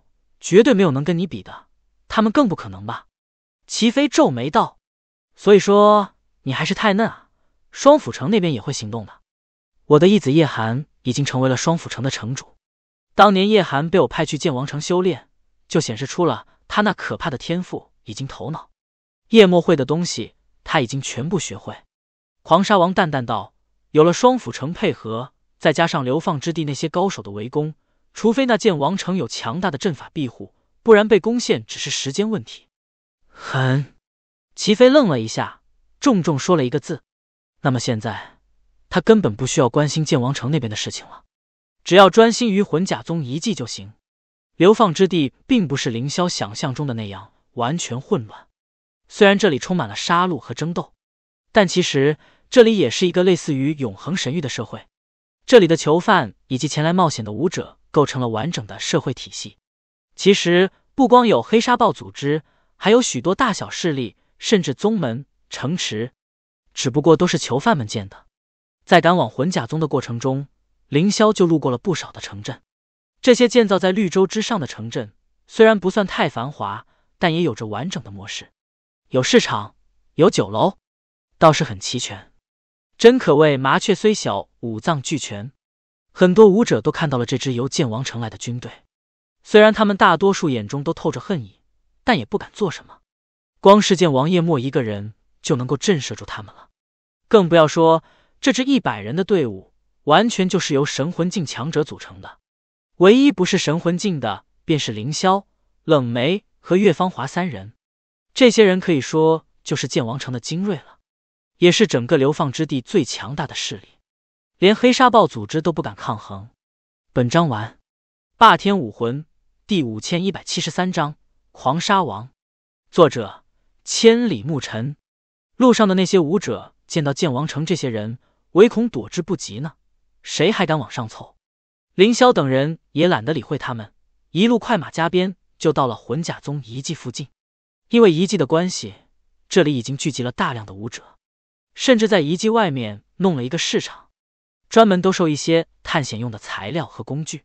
虽然剑王城黑沙暴组织企图占据魂甲宗遗迹，可是魂甲宗遗迹实在太大了，他们都不可能办到的。普通的武者来了，只能送死，而精锐高手数量又有限。后来，两大势力干脆睁一只眼闭一只眼了。毕竟，他们的主要敌人是对方，而不是那些小老鼠。那些老鼠能做的，也不过就是进去弄点所谓的宝贝。小老鼠们或许欣喜若狂，但其实两大势力根本看不上眼。当然，如果小老鼠们当真弄到了好东西，两大势力肯定会抢下来的。流放之地唯一不同于永恒神域的地方，就是这里完全没有规矩可言。弱肉强食就是最基本的情况。将军，驻守在魂甲宗遗迹附近的剑王军高手看到叶墨前来，急忙迎了过来。有什么情况吗？叶墨一边从狮驼兽上下来，一边问道：“启禀将军，黑沙豹那边没有动静，似乎在等着什么。不过前几日，齐飞副将与狂沙王会面了。还有就是黄雪公主带人进入了遗迹，不过很快就又出来了，死了几个人。”看起来很不顺利。那人回答道：“公子，你推测的不错，那齐飞果然跟狂沙王在一起。这个王八羔子！”叶墨本来就不爽齐飞，听到齐飞真得与狂沙王待在一起，顿时杀意迸发。意料之中的事情，将军先安排大家休息，明日正式进入遗迹。凌霄打算先一个人进去探查一番，他有着超强的存活能力，这一点就算是叶墨也比不上他。一旦遇到危险，完全可以及时逃出来。明白？你招呼众人休息，我陪着公子。叶墨不放心凌霄一个人，毕竟不管是黄雪还是齐飞，都想要凌霄的命，还是他跟在身边比较合适。他招呼手下安顿大家休息之后，就跟着凌霄一起到附近闲逛了。这里的市场上出售的东西，大部分都是从外面运来的材料和工具，但也有一些东西是有人从遗迹里面搞出来的。大部分价值不大，有一些则作用不明，不知道是用来干什么的。这些家伙看不穿，也没那个兴趣，只想把这些废铜烂铁高价出售。这位公子，一看您就是识货之人。我这里有一件刚刚从遗迹之中弄出来的宝物，您瞧瞧。凌霄被一个摊贩拦住了，他的摊位上全部是些破烂，有些看起来明显已经不能用了，所以光顾的人也比较少。不过凌霄看得出来，这个人摊位上的东西最起码是真正的古董货，不像旁边很多摊位上的物品，明显就是做出来的假货，只不过比较光鲜而已。凌霄蹲了下来，开启太极眼，仔细看着那些破铜烂铁。这个东西怎么卖？凌霄忽然指了指其中一把断剑，问题：“公子果然好眼力，这断剑断裂之前可是六道神龙纹啊！虽然断裂了，但也必然有一定的研究价值。我也不多要，您给一百个极品灵石就行。”摊贩笑着说道。“抢钱啊！”不等凌霄说话，叶秋便道：“即便他曾经是六道神龙纹帝王器，现在这只不过是废铁一块而已。别说一百极品灵石，就算是一块极品灵石，都未必值。”那摊贩老脸一红，是不是狮子大开口？只有他自己知道。一块极品灵石卖不卖？凌霄问道。太少了点吧？还是再加点吧。我几个兄弟辛辛苦苦进去一趟，差点把命搭上了。摊贩苦笑道：“这样吧，您给十个极品灵石，东西归您。”五个。凌霄面不改色的说道：“好，成交。”谭法咬了咬牙，正要把东西递给凌霄，忽然一个讨厌的声音响了起来：“哼，我当是谁呢？原来是见王军的人啊！欺负一个老实巴交的摊贩，不嫌丢人吗？你那断剑我要了，十个极品灵石给你。”凌霄皱了皱眉。扭头看向了说话之人，果然就是齐飞那个家伙。这厮竟然还敢出现，难道不怕叶墨一时气愤将其杀了吗？还是说狂沙王也跟着来了？想到这里，他开启太极眼，朝着人群里面看去。果然，一股强悍的气息扑面而来。狂沙王果然来了！你个狗东西，竟然还敢出现在我的面前，想死吗？叶墨果然动怒了。所谓眼不见心不烦，若齐飞不出现，他还没那么生气。可齐飞这厮简直不识好歹啊！恐怖的气息扑向了齐飞，齐飞不过神体近九重前期修为而已，如何能抵御得了叶墨那可怕的气息？当场就坐在了地上，脸色惨白。叶墨，你个老东西敢动我，信不信我们齐家把整个剑王城都给灭了？齐飞虽然很难受，不过到底也算是个枭雄角色。并没有因此而退缩，他厉声喝道：“那就让他们来吧，我倒要看看，除了犬王之外，谁能杀得了我。”叶墨冷笑着，气息完全没有收敛，而后抬脚朝着齐飞走去。狂沙王，你还要看热闹吗？我死了，你也不会好过。齐飞终于害怕了，大吼了一声：“叶墨呀，叶墨，当年你就是这样，如今还是这样。十年过去了。”你还是一如既往的暴躁啊！这样子下去会名不长久的。狂沙王终于露面，强大的气息与夜幕撞在了一起，齐飞这才吐出一口浊气，明显舒服了很多。这就是狂沙王吗？凌霄看着对面的男人，能够与剑王夜幕实力旗鼓相当的，恐怕在流放之地找不到第二个人呢。不错，那就是狂沙王曾经酿成了黄金五国血案的家伙。叶秋点了点头，看向狂沙王的眼神中透着无比强烈的恨意。十年，狂沙王让他痛苦了足足十年。虽然现在因为凌霄他恢复了正常，可是心中的仇恨却不会因此而简单消失的。狂沙王的出现也让市场有些混乱。他若是跟剑王在这里战斗，恐怕会毁了整个市场的。那个手持断剑的商贩转身就要逃走，不过却被双方的人拦住了。眼下，他们可不是为了一把断剑，而是为了面子。本章完。霸天武魂第五千一百七十四章简宝，作者千里牧尘。叶墨，我可不想跟你在这里战斗。今日找你是有事情要谈。狂沙王主动收了气息，然而却没有放松警惕，因为他很清楚自己给叶墨的儿子叶秋带去了多大的痛苦。难保叶墨不会突然发动攻击。我跟你有什么好谈的？叶墨也缓缓收起了气息。狂沙王出现的那一刻，战斗就不可能开始了。他的任务是在争夺宝物的时候拖住狂沙王，而不是在这里战斗。一旦他们打起来，只能让别人渔翁得利。虽然愤怒，但这个仇也只能等一等再报了。狂沙王，你给我记住了，魂甲宗遗迹之中遇到我，必杀你。叶墨冷冷道：“我们之间没什么好谈的，别这么说嘛。你应该也清楚，仅凭咱们任何一方的实力都不可能得到宝物。想要进入遗迹深处弄到宝物，那就必须得联手才行。”狂沙王笑道：“一起进去，至于谁最后能得到宝物，那就看本事了。跟你合作，你当我嫌命长吗？”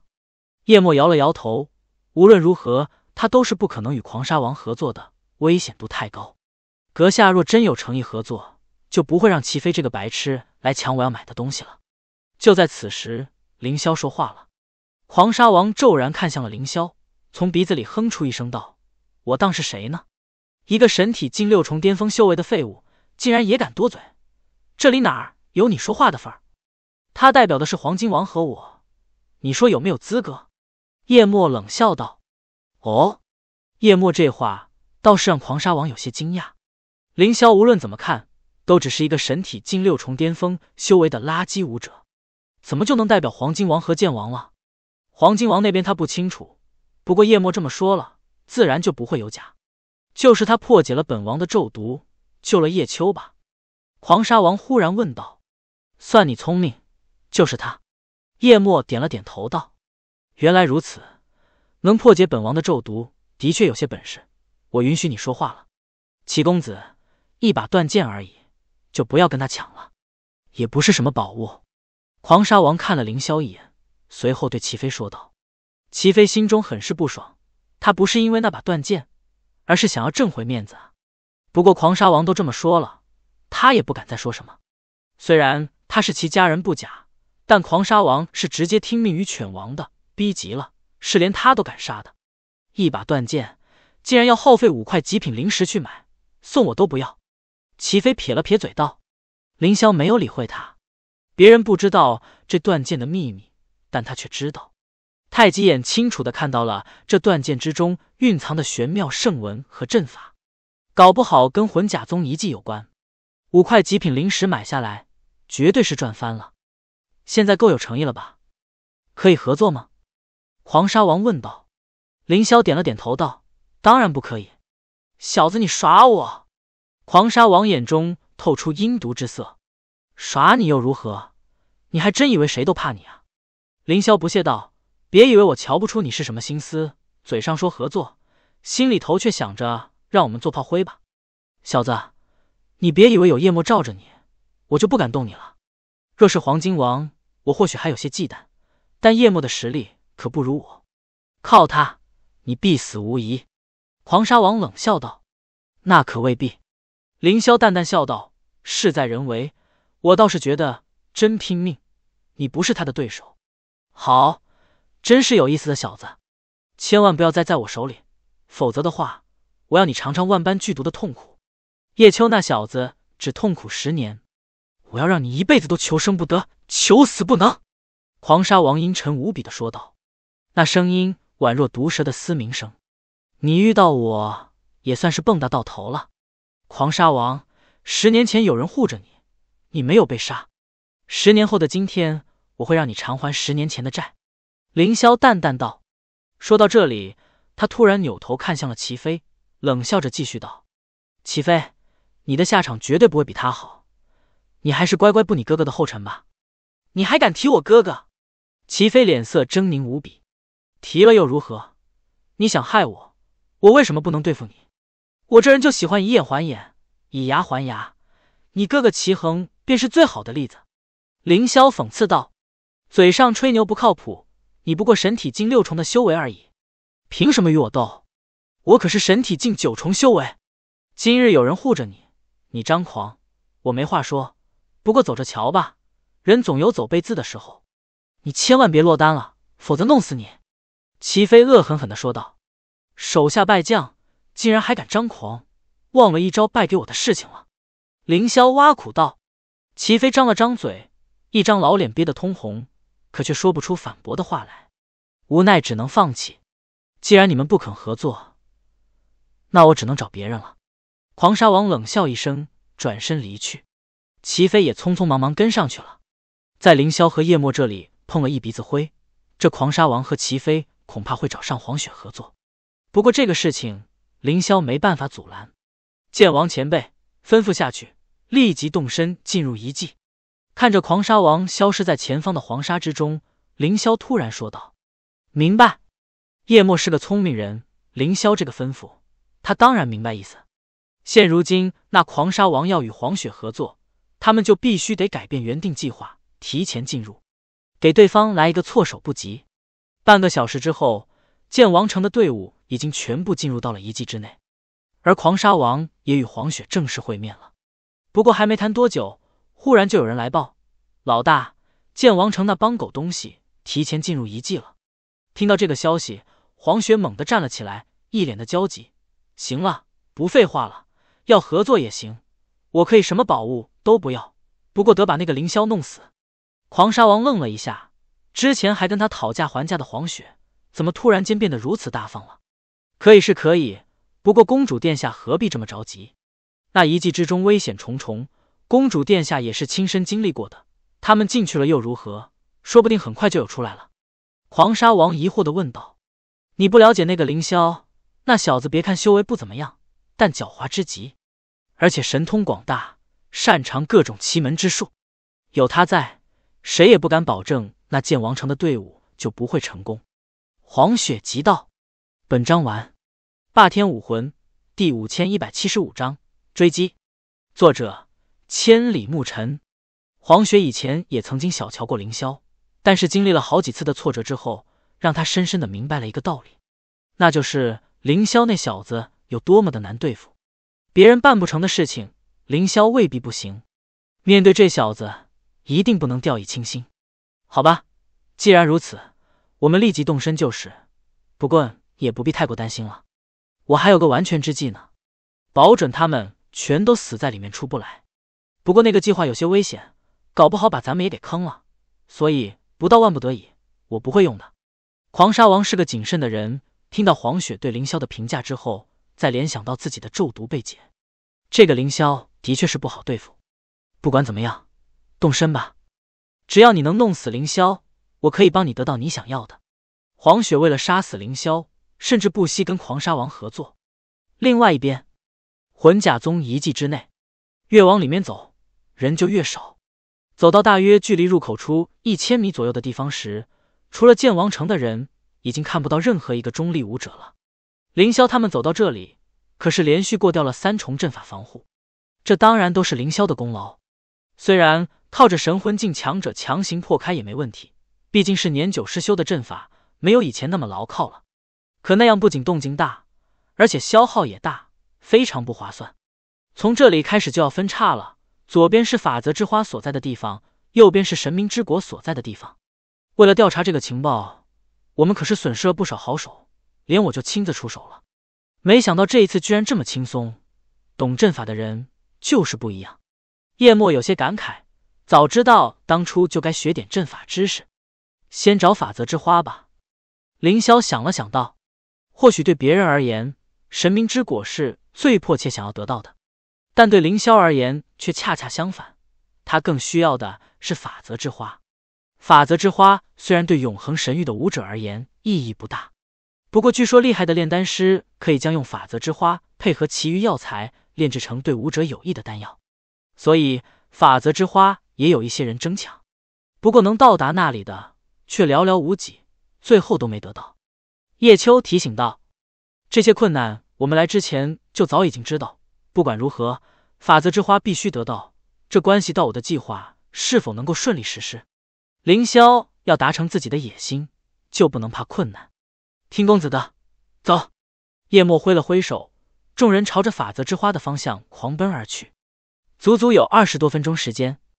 狂沙王与黄雪组成的联合队伍也抵达了岔道口，一道黑影从暗处闪了出来，躬身道：“老大，他们去了法则之花那边。怪了，法则之花对永恒神域的人效用不大，他要那东西干什么？”狂沙王皱眉道：“算了，不管了，咱们先去找神明之果。即便他得到了法则之花又如何，一样别想活着出去。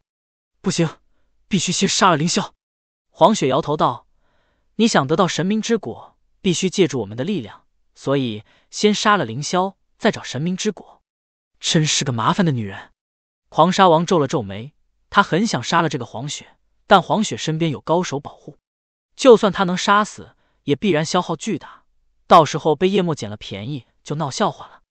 而且正如黄雪所言，他要得到神明之果，必须得借助黄雪的力量。这一路如此轻松的原因。也是黄雪的队伍里有阵法师，罢了，那就先去杀人。不过黄雪，你给老子听好了，若是杀了那小子，你敢反悔，我一定让你回不了黄金域。别人怕你的父亲，我可不怕。狂沙王威胁了黄雪一番，这才追着凌霄等人而去了。进入遗迹之后，凌霄他们就放慢了速度。尽管很想快点得到法则之花，但这一季之内危险重重，不得不防。由于魂甲宗早在上万年前就已经被毁，这一季之内有很多地方简直成为了妖兽栖居的圣地。他们这一路上遇到过好几波强大的妖兽。幸亏这支队伍强大非常，再加上冷梅及时发现了敌人，才能够轻易化解危机。注意，前方有妖兽埋伏！冷梅突然提醒道。叶墨熟练做了几个手势，不用说话，他手下的那些高手已经布置好了战阵。我去引他们出来。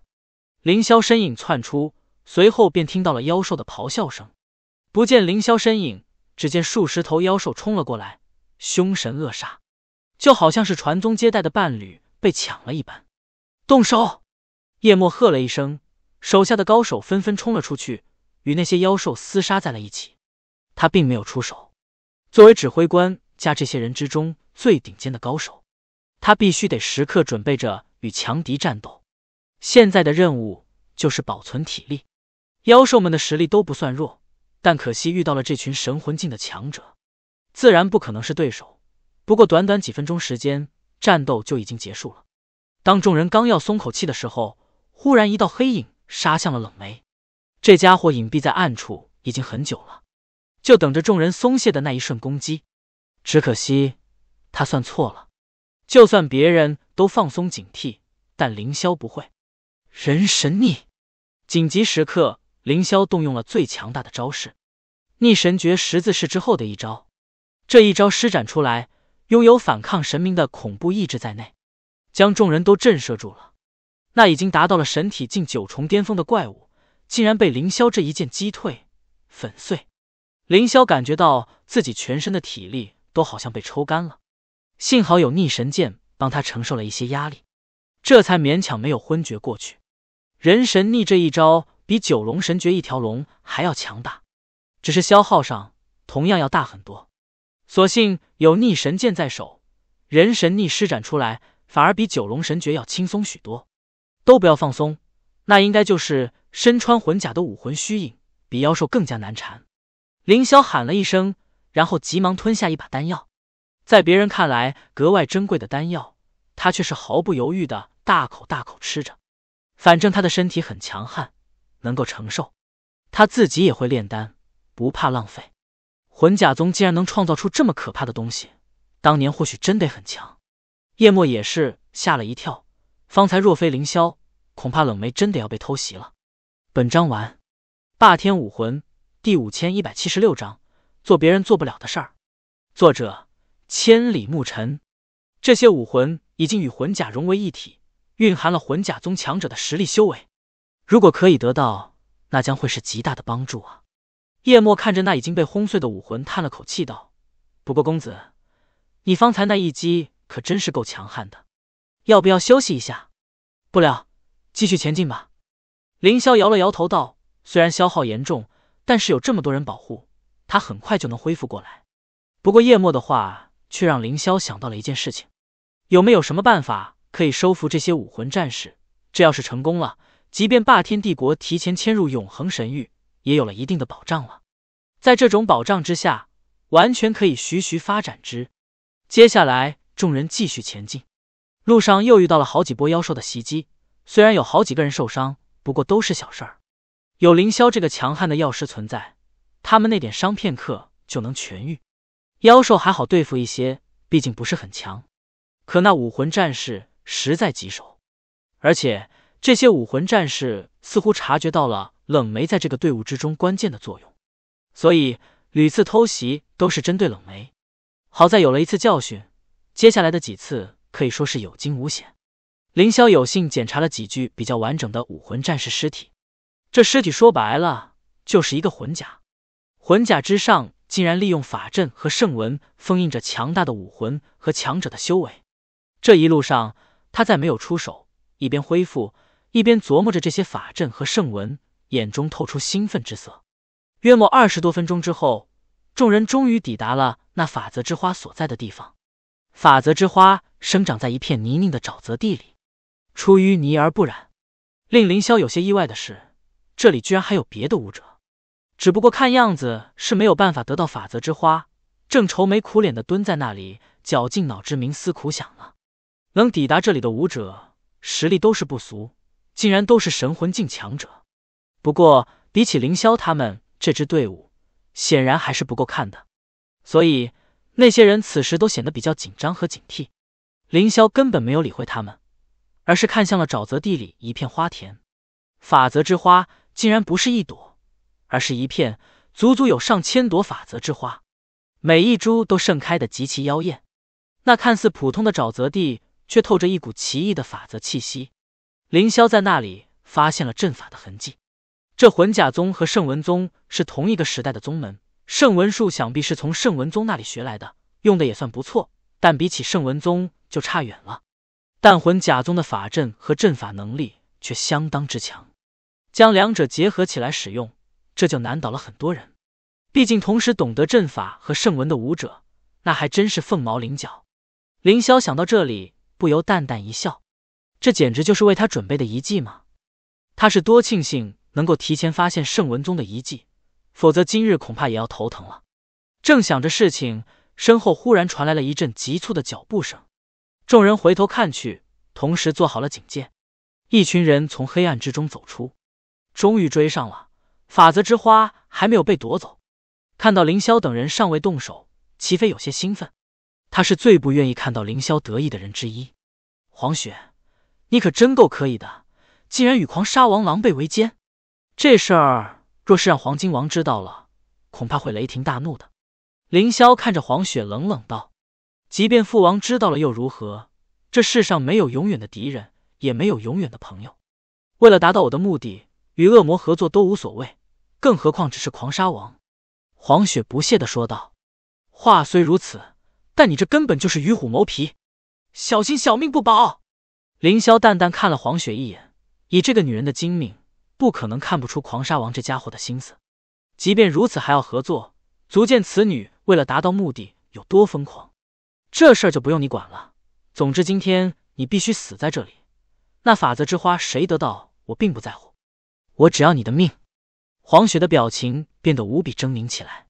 神经病啊！我与你有什么深仇大恨吗？凌霄真得是无语了。说起来该他憎恨黄雪才对啊。怎么，这女人倒是把他当成心腹大患了？你与我没有深仇大恨，不过你的天赋让我感到恐惧。有你在，恐怕黄金五国今后不会安宁。父王他太小瞧你了，但我不会，只有你死了，我才能安心。黄雪咬牙切齿的说道。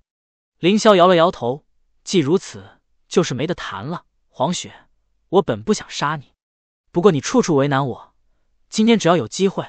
我一定会弄死你的！废话不多说了，动手！黄雪看了狂沙王一眼，道：“所有人跟我进入沼泽地。”凌霄深知自己一方的实力不可能是对方加起来的对手，强行战斗只会伤亡惨重。不过他想到了一个好方法，直接一步踏入沼泽地。见王城的一百多人想都不想就跟了进去。疯了！黄雪止住了脚步，震惊的喊道。他的队伍之前也来到过这里，还折损了好几个人呢。这沼泽地非常古怪，而且可怕。武者进入其中，首先就会中毒，其次身体会被泥泞的沼泽吞噬，无论多强都没有用。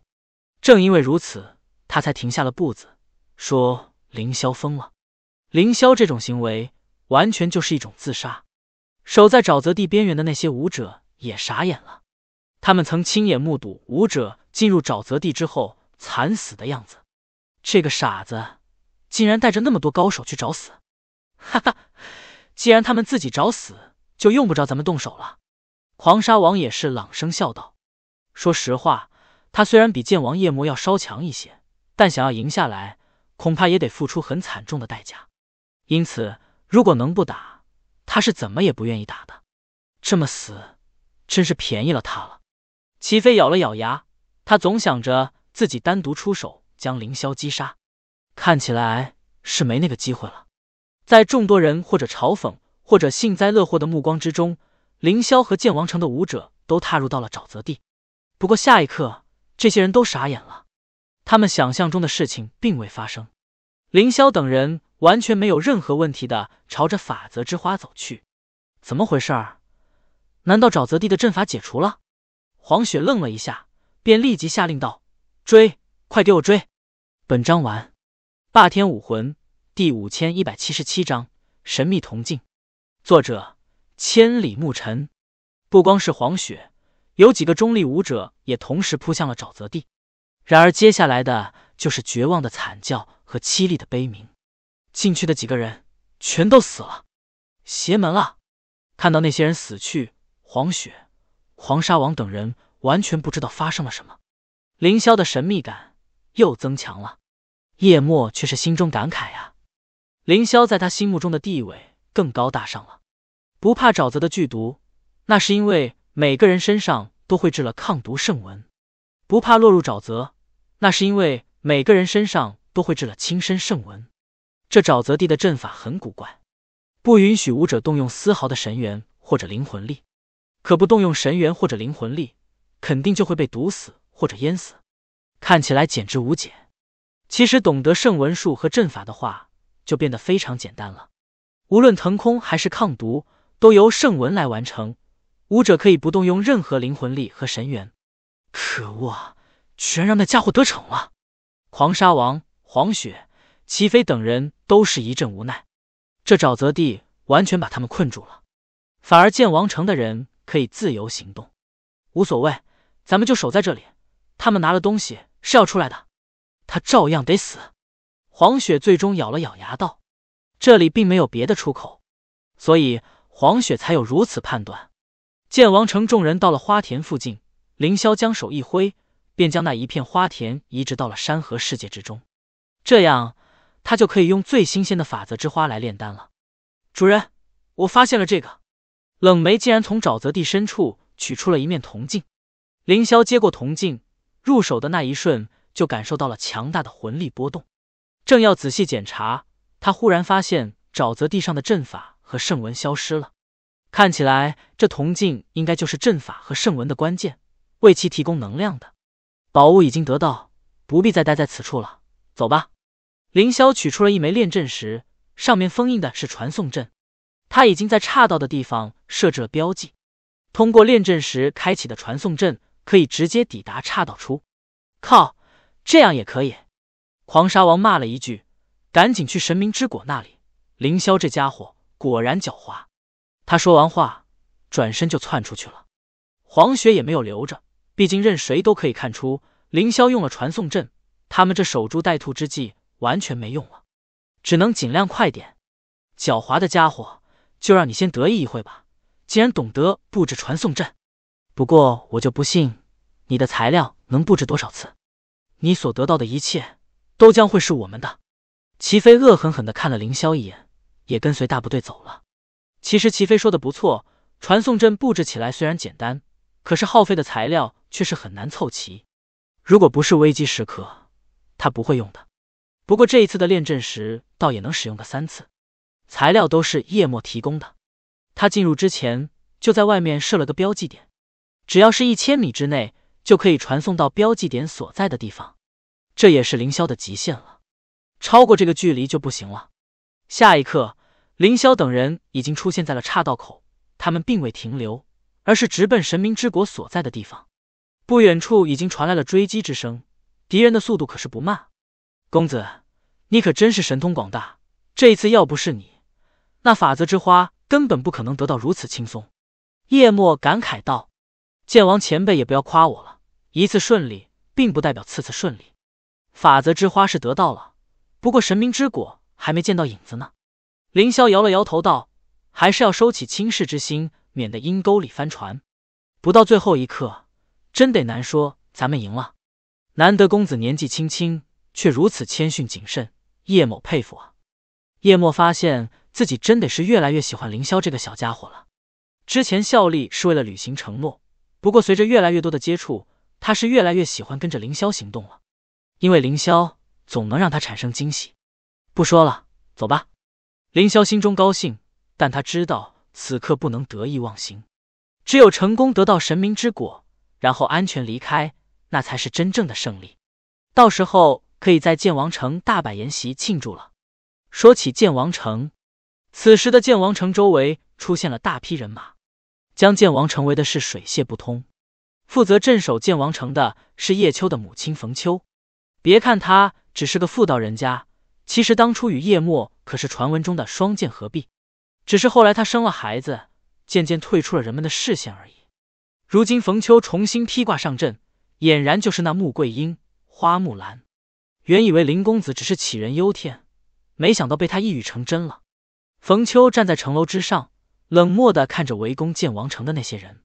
还好有林公子布置的阵法，否则凭借现在的兵力，可是很难守住城郭呀。传令下去，开启阵法，谁敢攻，就让谁死。真当我们剑王城是泥捏的呀？冯秋将手一挥，下令道：“虽然神魂境高手都被调拨走了，但剑王城留下的武者可是还有很多。凭借阵法之护，他们守住城郭完全不成问题。我在剑王城等你们回来摆庆功宴。”战斗已经开始。冯秋看向遗迹的方向，其实那边的情况可比他这里糟糕多了。回到遗迹之内，主人，这到底是个什么东西？冷梅指着凌霄手中的铜镜问道：“路上的战斗完全不需要他们，剑王城的武者就足够了。”这也让凌霄无比庆幸自己得到了叶墨的支持，否则单凭他的力量，想要虎口夺食，恐怕是不可能的。光是这恐怖的妖兽和武魂战士，他就肯定对付不了。最弱的都是神体境九重的存在，甚至出现够神魂境的妖兽，他完全没辙。好像是一件法宝。用来维持阵法和圣文的，不过时间长了有些损坏。凌霄仔细研究过这铜镜，并不是帝王器，看不出端倪来，但肯定比帝王器更强。可惜年久失修，已经有些失去法宝的光泽了。这个现在还有什么用吗？旁边岳芳华问道。当然有用，凌霄笑道：“我研究过了，如果将这铜镜的力量瞬间释放出来，能够直接轰杀一个神魂境强者。”不过到了那个时候，铜镜也就毁了。这么恐怖，冷梅和岳芳华都露出了震惊之色。就算只能用一次，可这简直就是大杀器啊！本章完。霸天武魂第五千一百七十八章：巨大的神明之果。作者：千里暮尘。对于凌霄而言，手中的铜镜虽然破损了不少，但却反而成为了一件大杀器。关键时候，他可不会舍不得的。这种东西留在手中，就算是被狂沙王逮住，他也有反败为胜的能力了。两人说话的当口，叶墨则指挥剑王城的高手们不断清除路上的拦路者，不管是妖兽还是武魂战士，都被尽数斩杀。难度与法则之花那边差不多，毕竟这只是一条道上的两个分叉而已。凌霄只需偶尔将疗伤丹给那些受伤的武者变形，受伤的就会被保护起来，没有受伤的。则继续战斗。虽然这期间他们也遇到了一些武者去争抢别的东西，但都直接忽略掉了。凌霄来这一季的目的就是法则之花和神明之果，必须得先把这两样东西弄到手，之后再去考虑其他。又过去了二十多分钟的时间，冷梅兴奋的声音响了起来：“主人，有神明之果的气息，看起来应该是快要到了。”凌霄点了点头，看向叶墨道：“诸位剑王城的兄弟辛苦了。”这一次绝对不会让你们白忙活的。虽说叶墨承诺为他办事儿，可见王城的其他人却不欠他的，他们也一起跟着进来，帮了很大的忙。如果凌霄不给点好处，那绝对说不过去。都听见了吧？公子不会让你们的血汗白流的。再加把劲，找到的好东西越多，你们得到的奖励就越多。叶墨也知道，这些高手虽然对他很是忠诚，但还是要适当给些奖励的。没来由的忠诚。有时候其实反而并不靠谱。很快，众人就看到了神明之果。这果子虽然只有一颗，但是比想象中的要大很多。圆形的果子，直径最少也有一米。如此巨大的神明之果，自然也非常惹眼。上面释放出洁白的圣光，竟然让人有一种顶礼膜拜的感觉。神明之果，没错了。凌霄来之前也是好好做过功课的。神明之果究竟是什么样子？他已经烂熟于心了，只不过书中记载的神明之果最大也不过西瓜大小而已。这一颗却是大了很多，这也就意味着能够炼制更多的神明丹。之前估摸着是十枚，现在看起来少说也能炼制一百枚左右了。与法则之花一样，神明之果的周围依旧是危险重重。凌霄正想着如何破解呢，忽然一道道破空之声响起，原来是狂沙王和黄雪的联合部队到了。只不过为了赶路，来的人似乎并不全，只是几个顶尖高手而已。齐飞都不知道被扔到什么地方了，终于赶上了，差点被那小子摆一道。狂沙王赶到，看到神明之果还在，顿时松了口气。虽然他也清楚神明之果不是那么容易就能被抢走的。可是凌霄这厮已经表现出了他那非比寻常的能力，不小心一点不行啊！凌霄，别以为你得到了法则之花就可以得意洋洋了。告诉你，这神明之果是我的。狂沙王想要神明之果，因为他想将自己的武魂提升为神武魂。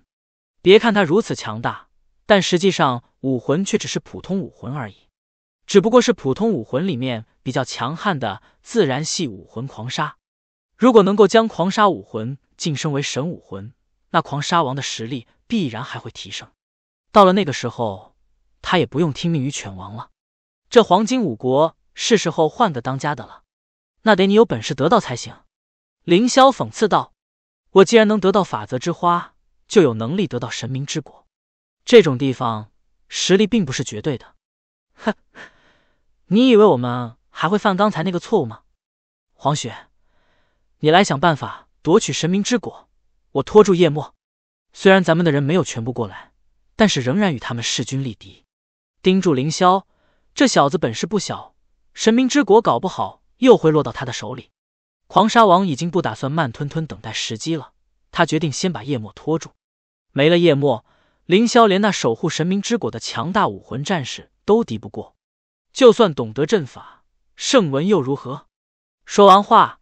他已经破空而去，虚空之中卷起了一片狂沙，直接往凌霄这边笼罩了过去。他这不仅仅是攻击夜墨，干脆是想要将凌霄一并干掉。这狂沙可不是普通的狂沙，内中蕴含恐怖的咒毒，只要被碰到或者吸入，便会立时中毒。中毒轻点，那还可以仗着神元将毒素逼出体外；可是中毒太重的话，那恐怕当场就得死亡。叶秋。照顾好林公子，记住了，无论发生什么事情，哪怕宝物不要，也要保住林公子的安全。叶墨叮嘱了叶秋一番，手中长剑一抖，剑意冲霄，竟然将那狂沙给轰开了。双方最顶尖的高手出手，场面颇为震撼。仅仅是恐怖的气息，就让人非常难受。叶墨，虽然我真的不想跟你交手，毕竟即便赢了你，我也会损耗不小，很容易被别人渔翁得利。然而今日却是不得不出手了。既然已经得到了法则之花，何必那么贪婪呢？神明之果就让给我吧。狂沙王冷笑道。叶墨眼中浮现凶悍的杀意，冷冷道：“狂沙王，你可知道，等这一天我已经等了很久了。十年，你让我的儿子叶秋被痛苦折磨了十年，这个仇只有用你的命来偿还，才能宣泄我的心头之恨。哼！”想要报仇，也得有那个能耐才行。狂沙王不屑道：“你恐怕不知道吧？剑王城此时被流放之地的强者围攻，估计已经危在旦夕。你的女儿、你的妻子都会死在这场暴乱之中。”狂沙王身后的狂沙凝聚成了一条巨大的沙蛇，吐着信子，死死盯住叶墨。杀机频现，叶墨想要杀死狂沙王，狂沙王何尝不想杀死叶墨？这两人。早就十年前便已经势如水火，而今不过是解决十年前的事情罢了。本以为叶墨听到自己的话会大惊之色，然而狂沙王失望了。叶墨的表情没有丝毫的波动。狂沙王，咱们都老了，这个时代注定是年轻人的。你恐怕也没想到吧？剑王城已经在林公子的操持之下布置了一个恐怖的阵法，那些人去了也只是送死。本章完。霸天武魂第五千一百七十九章开战，争夺神物。作者：千里牧尘。什么？狂沙王脸色猛然一变。别的武者他不在乎，可是他那义子叶寒却是他的希望。万一也折损在这场战争之中，那就太不划算了。你撒谎，三天时间怎么可能布置出什么像样的阵法？他根本不信叶墨的话，信不信由你。或许别人做不到，但林公子却可以。公子，我来斩杀狂沙王这老匹夫，剩下的事情就交给你们了。叶墨不再废话，手中长剑猛然刺出，身后剑神武魂绽放，恐怖的剑气与那杀蛇在虚空之中开始缠斗。轰！某一刻，两人强硬的撞击在了一起，而后同时倒飞出去。等稳住身形之后，狂沙王的脸色却变得异常难看。怎么可能？你明明不如我的，怎么感觉实力陡然变得如此之强了？竟然可以与我打成平手！狂沙王，我说过，你的时代已经过去了。公子得圣文术，完全可以弥补我与你之间的差距，甚至可以让我比你更强。之前叶墨其实心里也是没底的，毕竟没有实战过，他很难确认凌霄的圣文术有用。不过这一次的碰撞，明显令他信心十足了。这一次，那狂沙王吃了个暗亏，他的剑气明显更加锋锐，伤到了对方。剑王前辈那里无需担心了，接下来还是抓紧时间把神明之果弄到手吧。凌霄其实也松了口气。叶墨说自己不如狂沙王，但究竟差距多少，却没有一个具体的数据可以参考。凌霄只能自己去分析推测，很难保证一品圣文就能弥补这些差距。不过现在看来。似乎还不错，仅仅启用了蛮牛圣文，剑王叶墨就已经能够与对方旗鼓相当了，说明两人之间的差距本来就不大。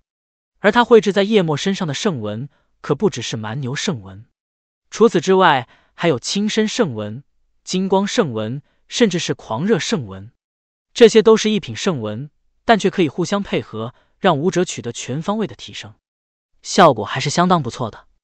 在狂沙王与夜幕战在一起的时候，狂沙王率领的那些神魂境高手也与剑王城的神魂境高手杀在了一起。由于那边人数没到齐，所以现在双方的实力还算是势均力敌的。我去守住入口。叶秋突然道：“只要对方援兵无法到达，公子就有机会得到神明之果。那道路很窄，所以只要有一个强者守住的话，那基本就是一夫当关，万夫莫开了。”凌霄点了点头。同时扔出了两块炼阵石，一块开启了小万雷诛仙阵，一块开启了瘟疫化古阵，可以协助叶秋战斗。此时对面还剩下的战力就只有黄雪一人，其余全都投入到了战斗之中。反观凌霄这边，还有凌霄、岳芳华和冷梅没有加入战斗。当然了，虽然他们这边人数多，可是战斗力却相差较远。黄雪可是半部神魂境的强者。也就是神体境十重修为，凌霄这边冷梅和岳芳华都只是神体境九重前期修为，纵然比一般人要强，可顶多也就能对战神体境九重巅峰的普通武者而已。面对黄雪，完全没有胜算，连手也不行。凌霄跟他们两个现如今是半斤八两，不过他们却有三样大杀器，其一便是刚刚得到的铜镜，连狂沙王那样的强者都有可能一击干掉。更何况黄雪了。其二则是小黑，小黑经过一段时间的成长，实力已经达到了神体境一重中期。不过还是那句话，小黑正处在幼年期，还太小，真正的战斗时间很短，必须得用在恰当之处。其三就是小金了，若小金能够及时出关，那么黄雪交给他就没有问题了。但小金是否能够及时出关，却是个问题，这一点凌霄也不知道。三个大杀器其实都有点问题，所以凌霄暂时不想动用。萧，我和冷梅拦住那个女人，你去取神明之果。虽然我们不是他的对手，但拦住总是没有问题的。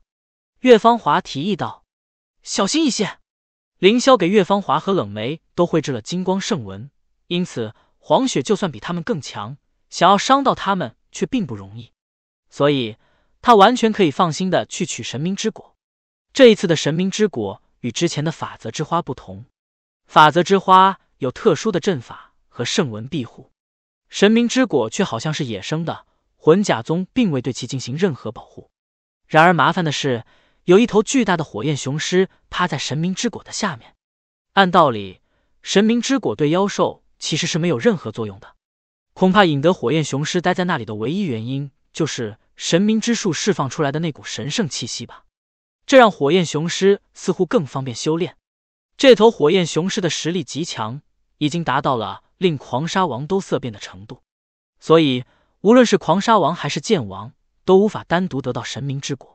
即使他们带上手下，估计这是难逃一死。哈哈，凌霄，你倒是过去取神明之果呀，没那个胆量了吧？本来挺着急的黄雪看到了火焰雄狮，不由大笑了起来。他的实力极强，在同时面对冷梅和岳芳华的时候。还能轻易分出心思来说话，也的确是强悍。黄雪，把我交给你的东西打在凌霄身上！狂沙王突然吼道。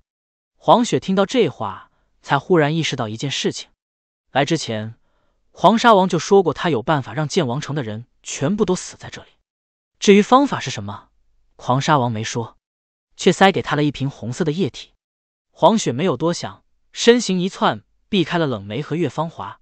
瓶中液体洒在了凌霄的身上，是血。当液体散开的那一瞬，附近的几个人都嗅到了气味。哈哈哈，那可是火焰雄狮幼崽的血液。之前我们来到这里，虽说没有得到神明之果，但却将火焰雄狮的幼崽杀了。那火焰雄狮曾疯狂追杀我们，让我黑沙豹组织损失惨重。凌霄，你就等着被那狂怒的野兽撕成碎片吧。狂沙王大笑了起来，虽然他脱不开身，也不得已之下动用了最后的手段，但他还是很高兴。正如黄雪所言，这个凌霄不死，他恐怕就无法安寝，所以他也要不惜一切手段弄死凌霄，这样才能让他安心啊！好，低沉的嘶吼声传了出来，那火焰雄狮猛然睁开了眼睛，果然是鲜血的气味影响到了他。本章完。霸天武魂第五千一百八十章智斗火焰雄狮，作者千里牧尘。那趴伏在神明果树之下的巨大火焰雄狮睁开了那愤怒的双眼，眼中透出强烈的愤恨与暴怒，而他的目光就对准了凌霄。这狂沙王的计策可真是足够歹毒啊！竟然在凌霄的身上撒了火焰雄狮幼崽的鲜血，这种事儿就算是凌霄也没能防备到。好。不等凌霄有任何思考，那恐怖的火焰雄狮化作了一道火光，宛若火红色的闪电一般扑向了凌霄。狂暴的气息，连狂沙王和剑王叶墨都有些战栗。嘿嘿，看你这次还不死！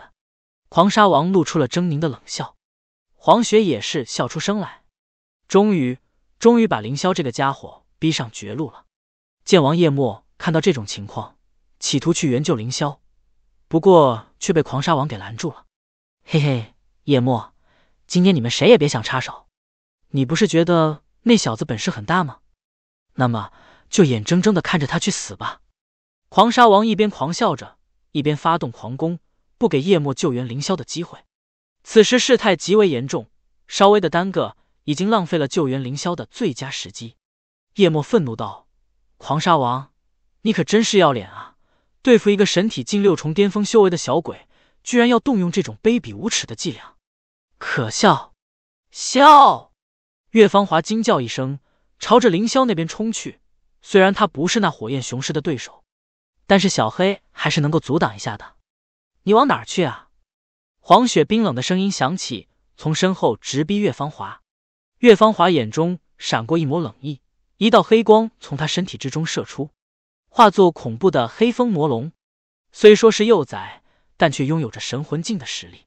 黄雪根本来不及防御，被那黑风幼龙一爪子拍飞了出去，生死不明。要不是着急去救凌霄，岳芳华一定会杀了黄雪的。而此时，冷梅已经在凌霄身前布置出了大量的障碍物，无数的植物形成了密集的屏障。就算那火焰雄狮再强大，第一次攻击还是被顽强的挡了下来。给了小黑过来战斗的机会。小黑现在的战斗时间已经可以延长到五分钟左右。不过，小黑跟那火焰雄狮实力差距太大，估计也撑不了多久的。好，被无数条藤蔓与根须缠绕住的火焰雄狮全身烈焰翻滚，大火燃烧起来。冷梅突然脸色一变，挡不住了。冷梅，协助小黑，萧，你去取神明之果。此时火焰雄狮被吸引了出来，正是取那神明之果的时候。不行，我身上有幼崽的血液，对那家伙来说才是第一目标。冷梅，你去取东西，我来拦住这大家伙。